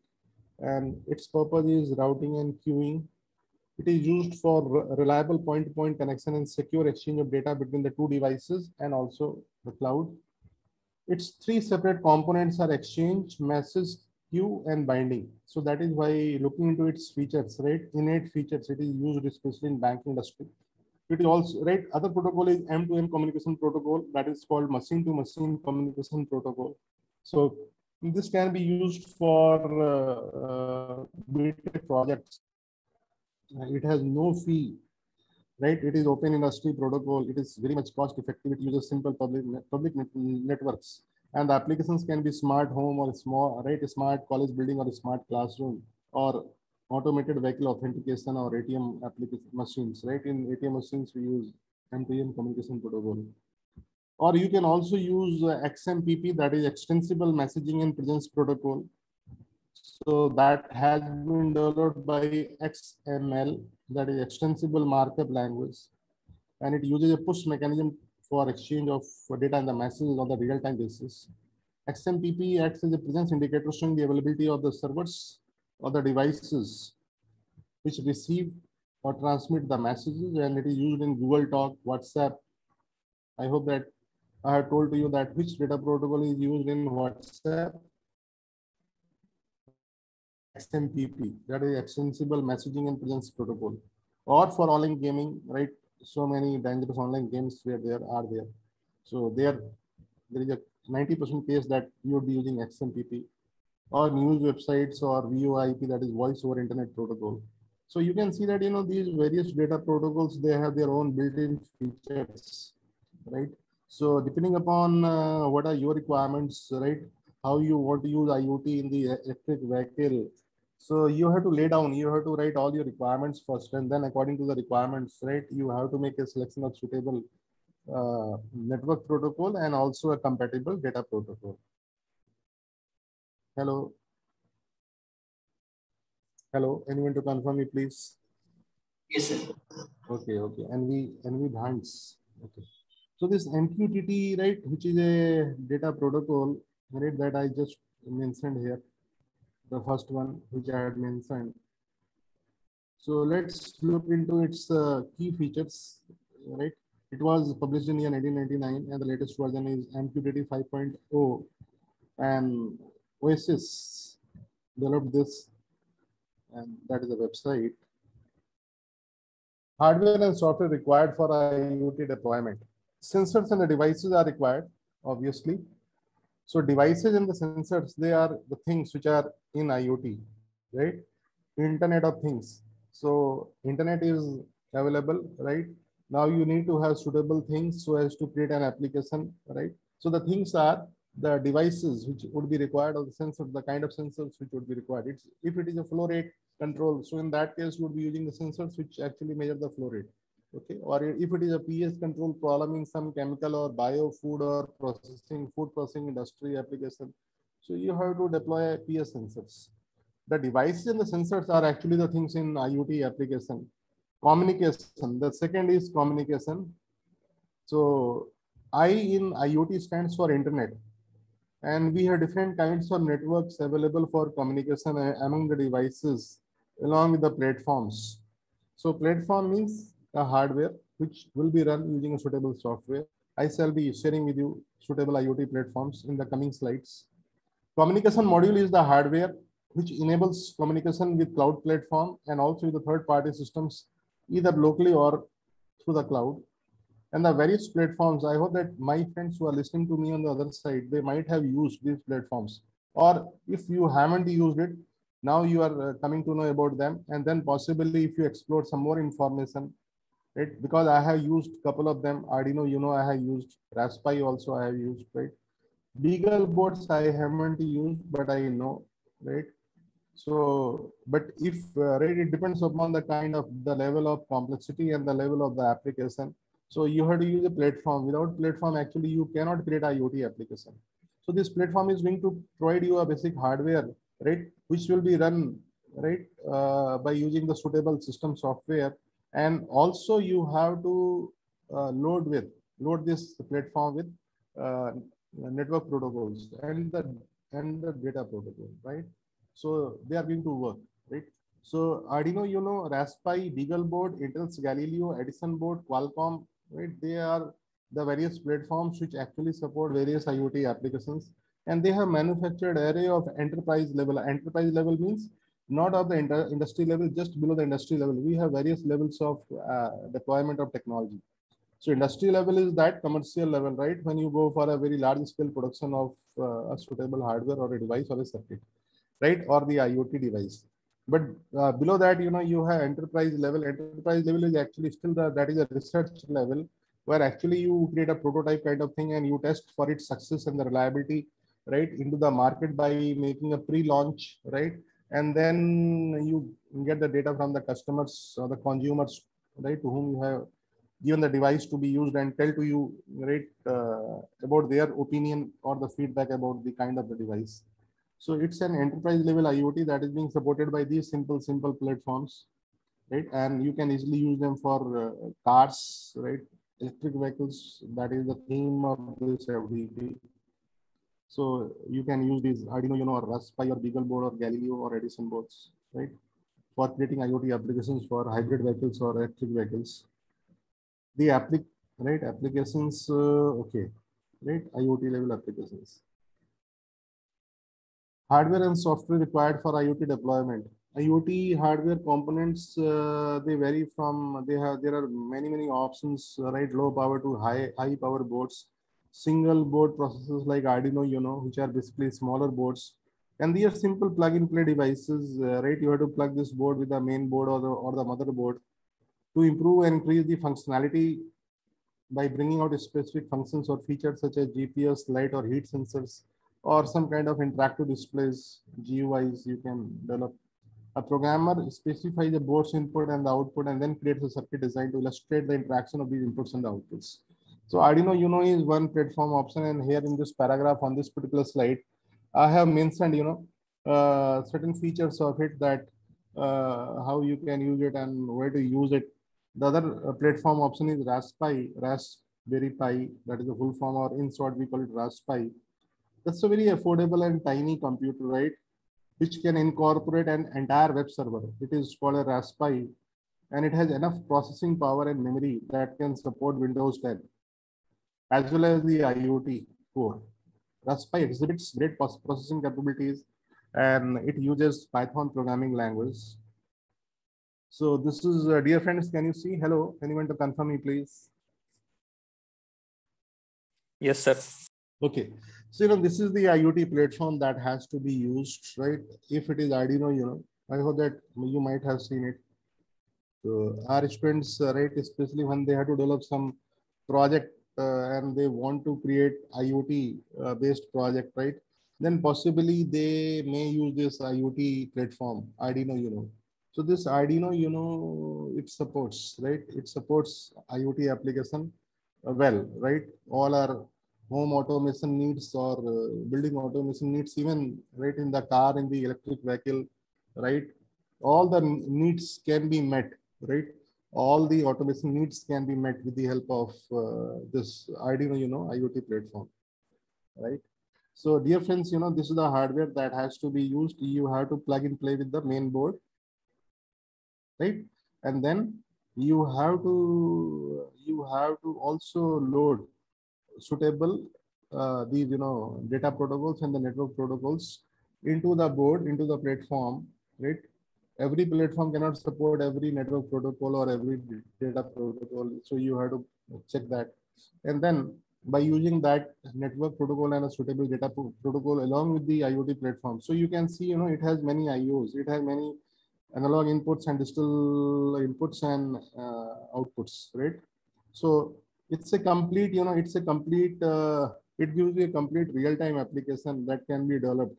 So you just uh, take the data in right in this, and you can see that there is a, DIP, dual inline package. It's a chip, right? That's a controller, right? And then it has other data, it has memory and other devices. And of course, it is going to utilize the hardware features of your computer, right? It's a plug-and-play device. So this is an additional device that actually adds to the main memory card, uh, main uh, uh, main motherboard card capability by creating IoT uh, peripheral applications, right? So other uh, IoT platform which I mentioned is Raspberry. This is how it looks like. So dear friends, you can see that it supports variety of connectors, right? So VGA, USBs, oh, sorry, sorry, wait, wait a minute. I have, right? And many other types of connectors, right? All are uh, available here. So you, you have to actually see your hardware requirements, then uh, your uh, application, right? And then you can select it. So this is how physically Raspberry 2 looks like. Arduino, you know, right? I had shown to you earlier. This is the Raspberry and this is a Beagle board, right? So this is also an IoT platform. Third alternative. The first one is Arduino, you know, very popular one. The second one is Raspberry, third is Beagle board. So it's a single board computer and it uses Linux operating system and uses ARM processor, right? What is ARM? ARM stands for Acorn RISC Machine. And what is RISC? Reduced Instruction Set Computer. So Beagle board, okay, it's very important, right? These four filings are very important. So let me also read and you also read it and uh, try to assimilate it. Beagle board is a single board computer with a Linux based OS which uses ARM processor and it is capable of more powerful processing than Raspberry. It's superior to that. ARM, that is advanced ARM advanced RISC machine, the Acorn RISC machine, right? So we are the, it's a family of reduced instruction set computing architectures for computer processors, which are being configured for various environments, RISC, reduced inst instruction set computing. So dear friends, you know, as of now in my lecture, you know, it's a long journey, right? More than one and a half hours. I have already talked. So let me just recapitulate summarize what all I've spoken about. I had been talking about, I created a history about IoT, right? I discussed various advantages, disadvantages. And also I mentioned that uh, what uh, technologies made IoT applications possible and how we can use that in the electric vehicle, right? And then because, uh, see, you know, you want to add certain feature to the electric vehicle, right? You want to send some data and you want to control, right? Some, right, operation of the electric vehicle so you have to use, you have to deploy a suitable technology since my talk is focused around IoT, so you can use IoT technology for that purpose because uh, the data which you can access, the database is going to be extremely large. The internet www is the data which would be available to you. So this is the strongest option that, that I'm giving to you, right? So you can always create many, many IoT applications, right? For various needs and the requirements of the electric vehicle, correct? But to create the IoT application for any need or the requirement of electric vehicle, right? You have to understand very basic things and the elements which create uh, IoT application like uh, the issues at the hardware level of IoT and the issues at the software level of the IoT. IoT hardware already I have shown to you, there are various platforms which can be used for creating uh, car automation, uh, right?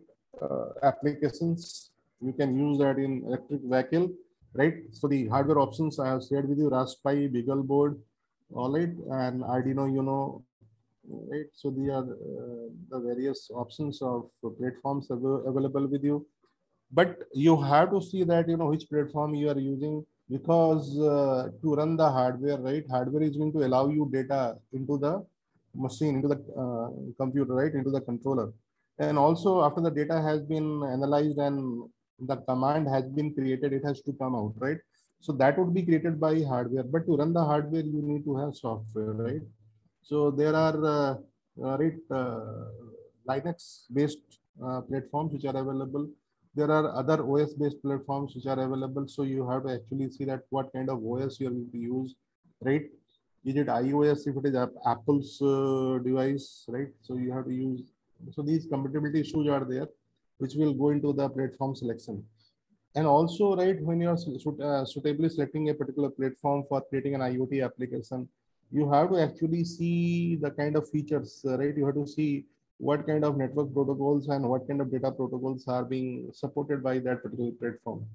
So the choice of the network protocol and the data protocol is again driven by your objective, by your application requirements. Okay. So there is a whole set of uh, ideation and then selection of the right option from the given options, right, has to be done. And uh, the things are not that tough, but yes, it needs your serious thought and then hard work is needed for creating an application. There is no doubt about that. IoT hardware building blocks, you know, so in this particular slide, I'm going to share that thing with you. So the entire story in IoT application starts with the, with the thing, right? So what is the thing? It is the asset which you want to control or you want to monitor. And then the next uh, device is uh, data acquisition module.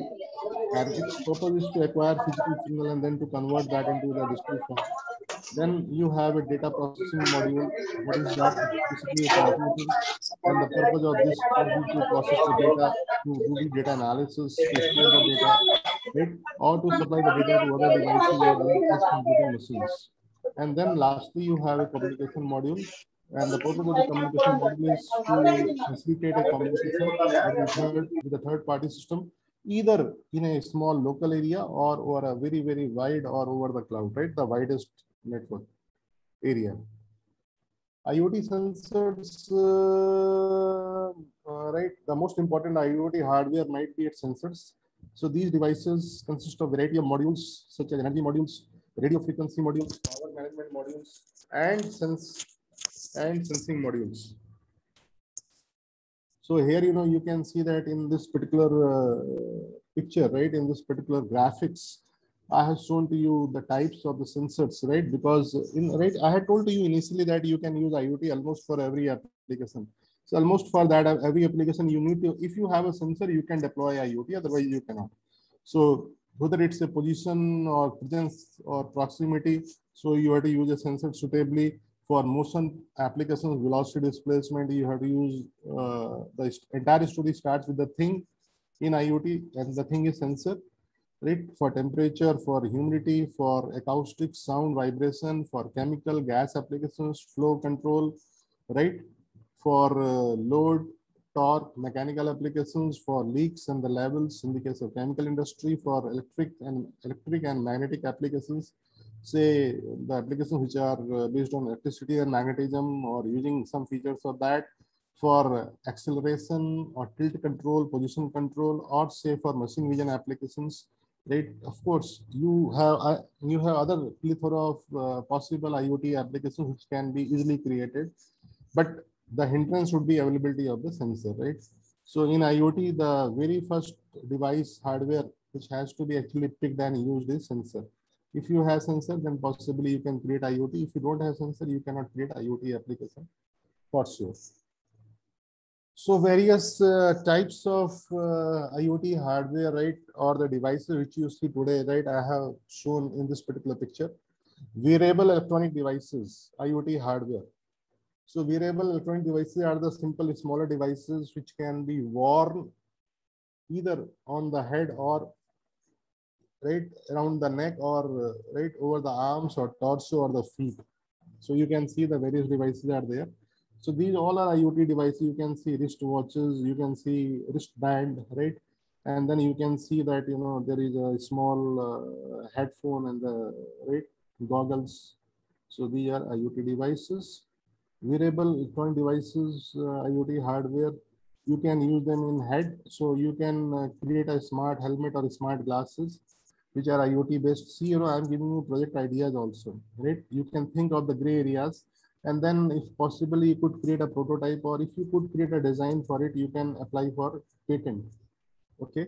So neck. So in the neck, you know, in the collars, collars we use or jewelry we use. So they can be augmented. They can be fitted with some kind of embedded system that actually creates an IoT application. In the arm, wrist watches, wristbands, rings are there.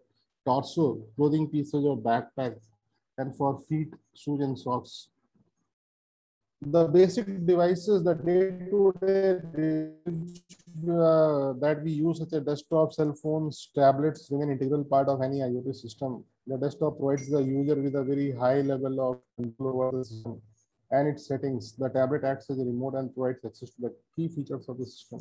Cell phone allows remote functionality and some essential settings modifications.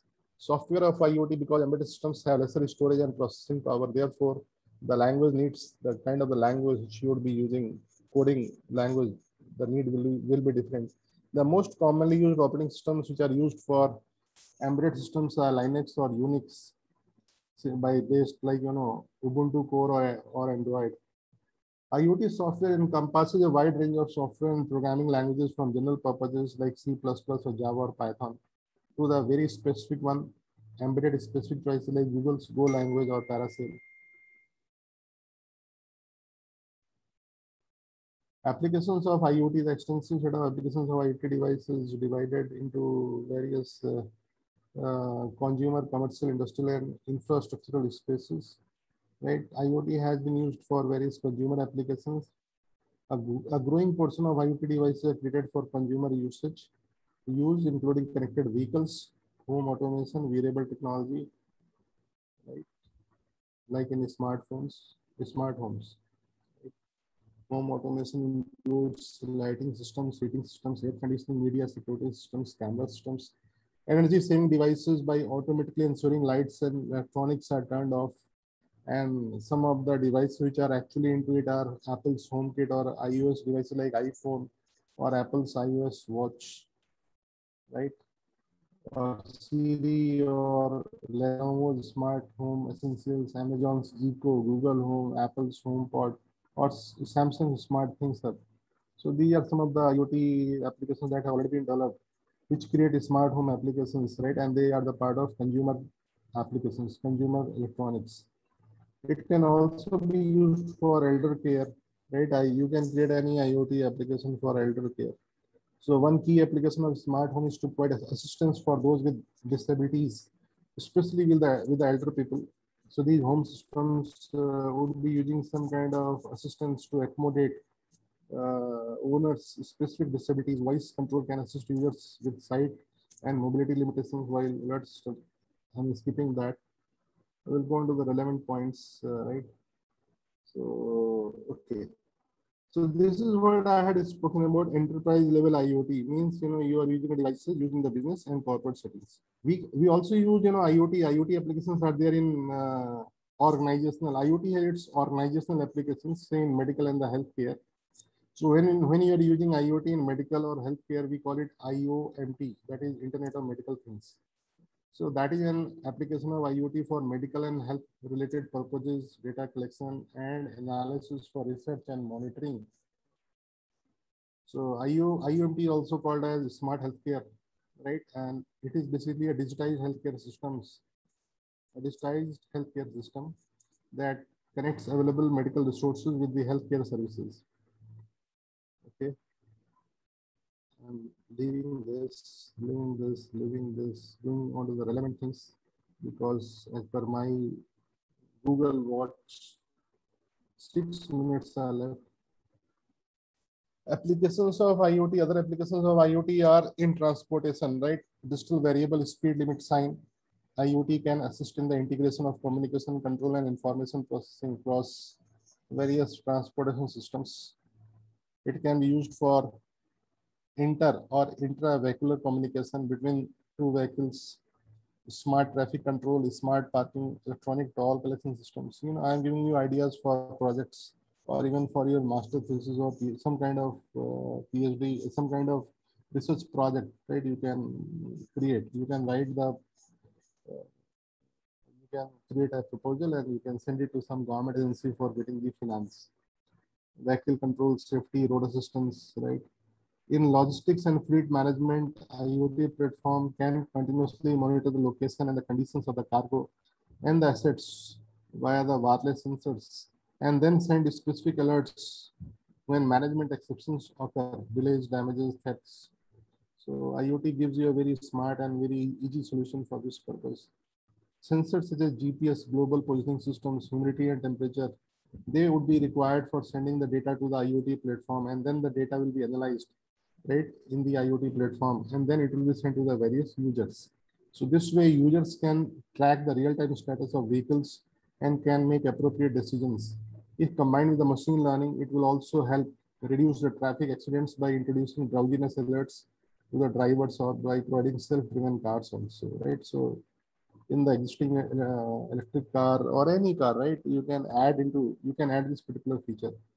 V2X communication, that is vehicular communication system. Vehicular V2X means vehicle to everything, right? Communication.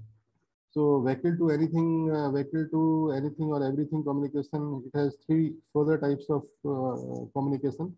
One is called V2V, that is vehicle to vehicle. Other is called vehicle to infrastructure communication, V2I.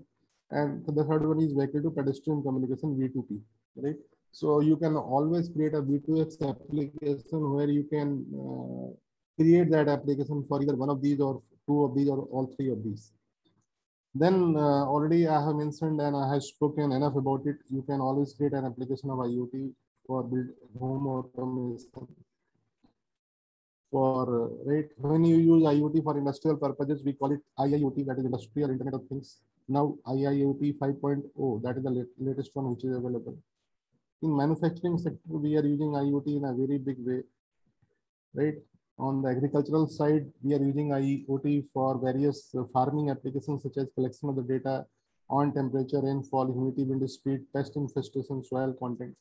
And then this data is being used for automate farming techniques, taking informed decisions to improve the quality and quantity, minimizing the risk and the waste, reducing efforts uh, for managing the crops. For example, farmers can now monitor soil temperature and moisture from uh, their home right, far off distances, and then they can apply IoT acquired data for uh, various fertilizer fertilization programs, right? IoT is being used for infrastructure application in the metro scale, metropolitan scale development, right? I have mentioned about smart cities. For energy management, yes, making the electronics on and off and sending the signal to the user for environmental control purposes, uh, right? Living labs, that is one of the concepts. I hope that some of you might have heard about it. So these living labs are actually IoT enabled labs, right? And today we have more than uh, 320 living labs. And the purpose is to collaborate and share the knowledge between the stakeholders and then create a innovative environment and new products. IOMT, that is the Internet of Military Things, right? When we use IoT for military purposes, it is called IOMT. When we use IoT for battle right? Fight, we call it IOBT. It is used by US Army. When we use IoT for uh, ocean, it is called uh, right ocean of things, right? And for product digitization, for QR code based uh, control, NFC tags. Okay, and before I end up, I like to end up with uh, again a motivational statement by Sadhguru. Frustration, discouragement, and depression means you are working against yourself. So, my dear friends, right, God always says us to work hard and hard. Don't get this, uh, do mind management, never get frustrated. Life is very simple and very precious. Never get discouraged, never get depressed. Thank you very much for your patient listening. Thank you.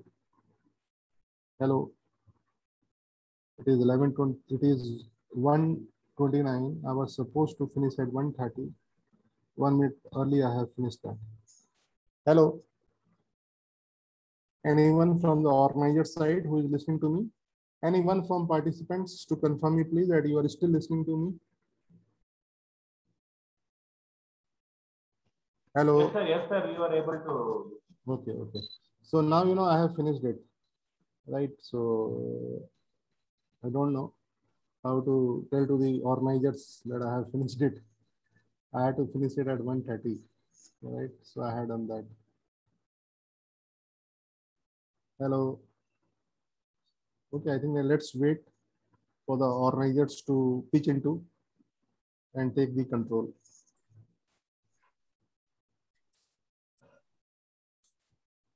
Uh, any queries from the participants?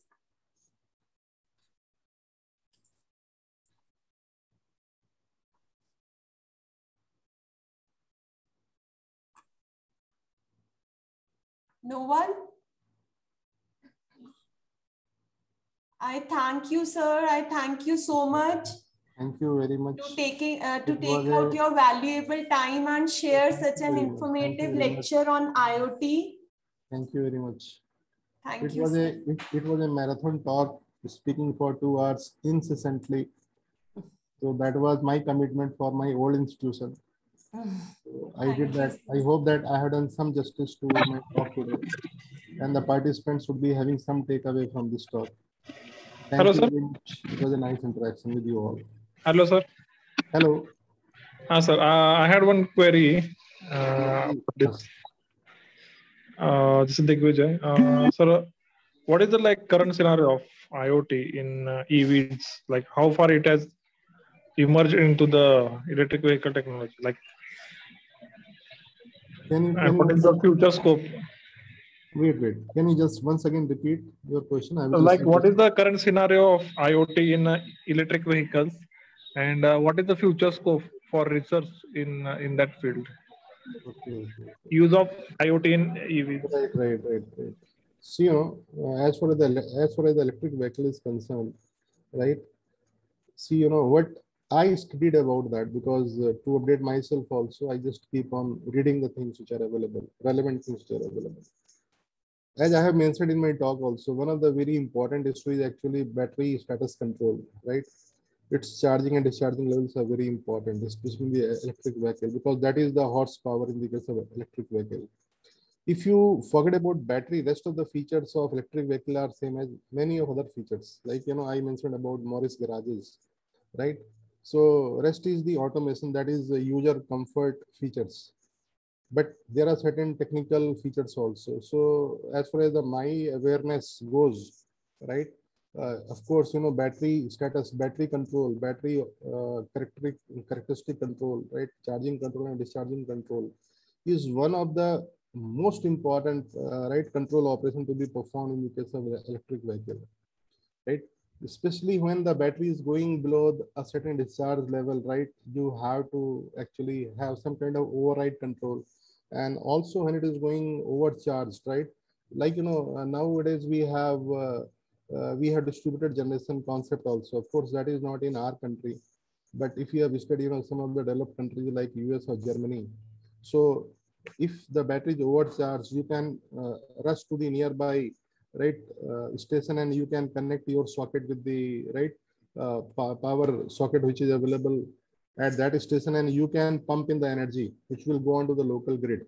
So this way the right the battery whatever excess energy has been stored and accumulated that is being given onto the network.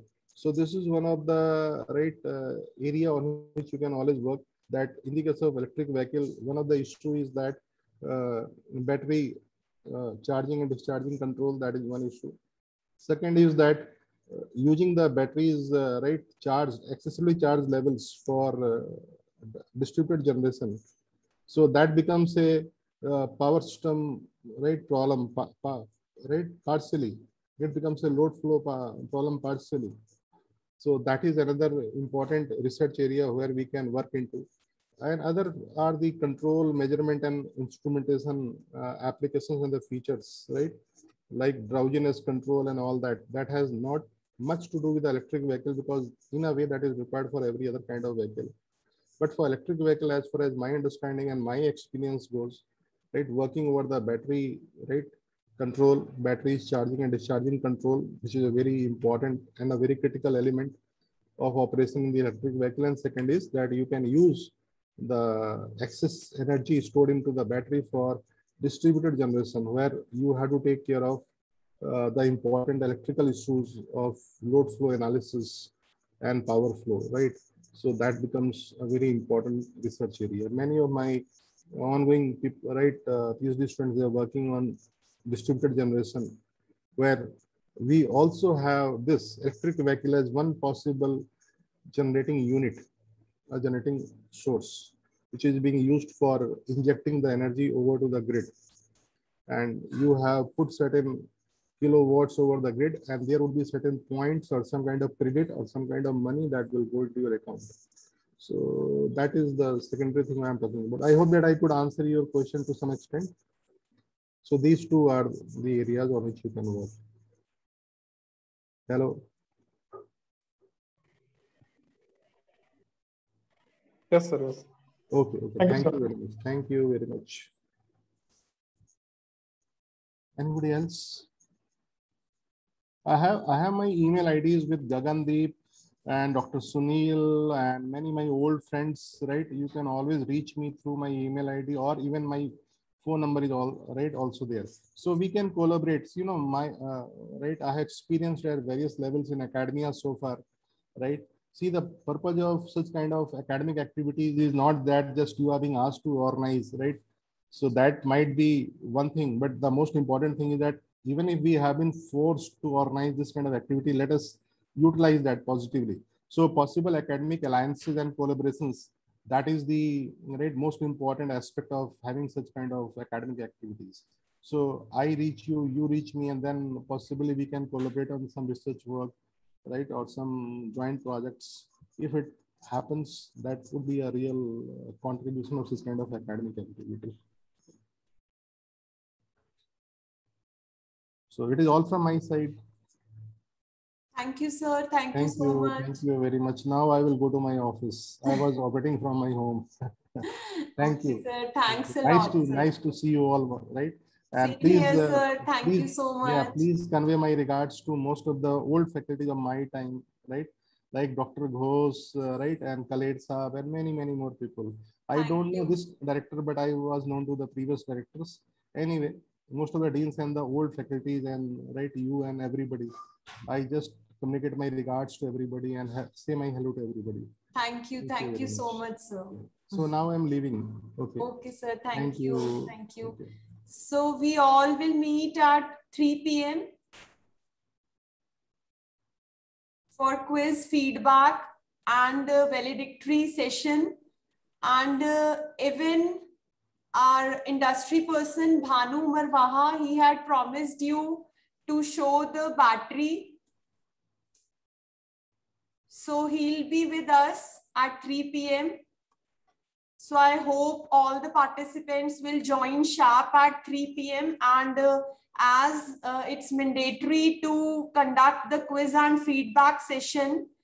And uh, so I hope all the participants will join the session and be the part of our valedictory function. Thank you so much.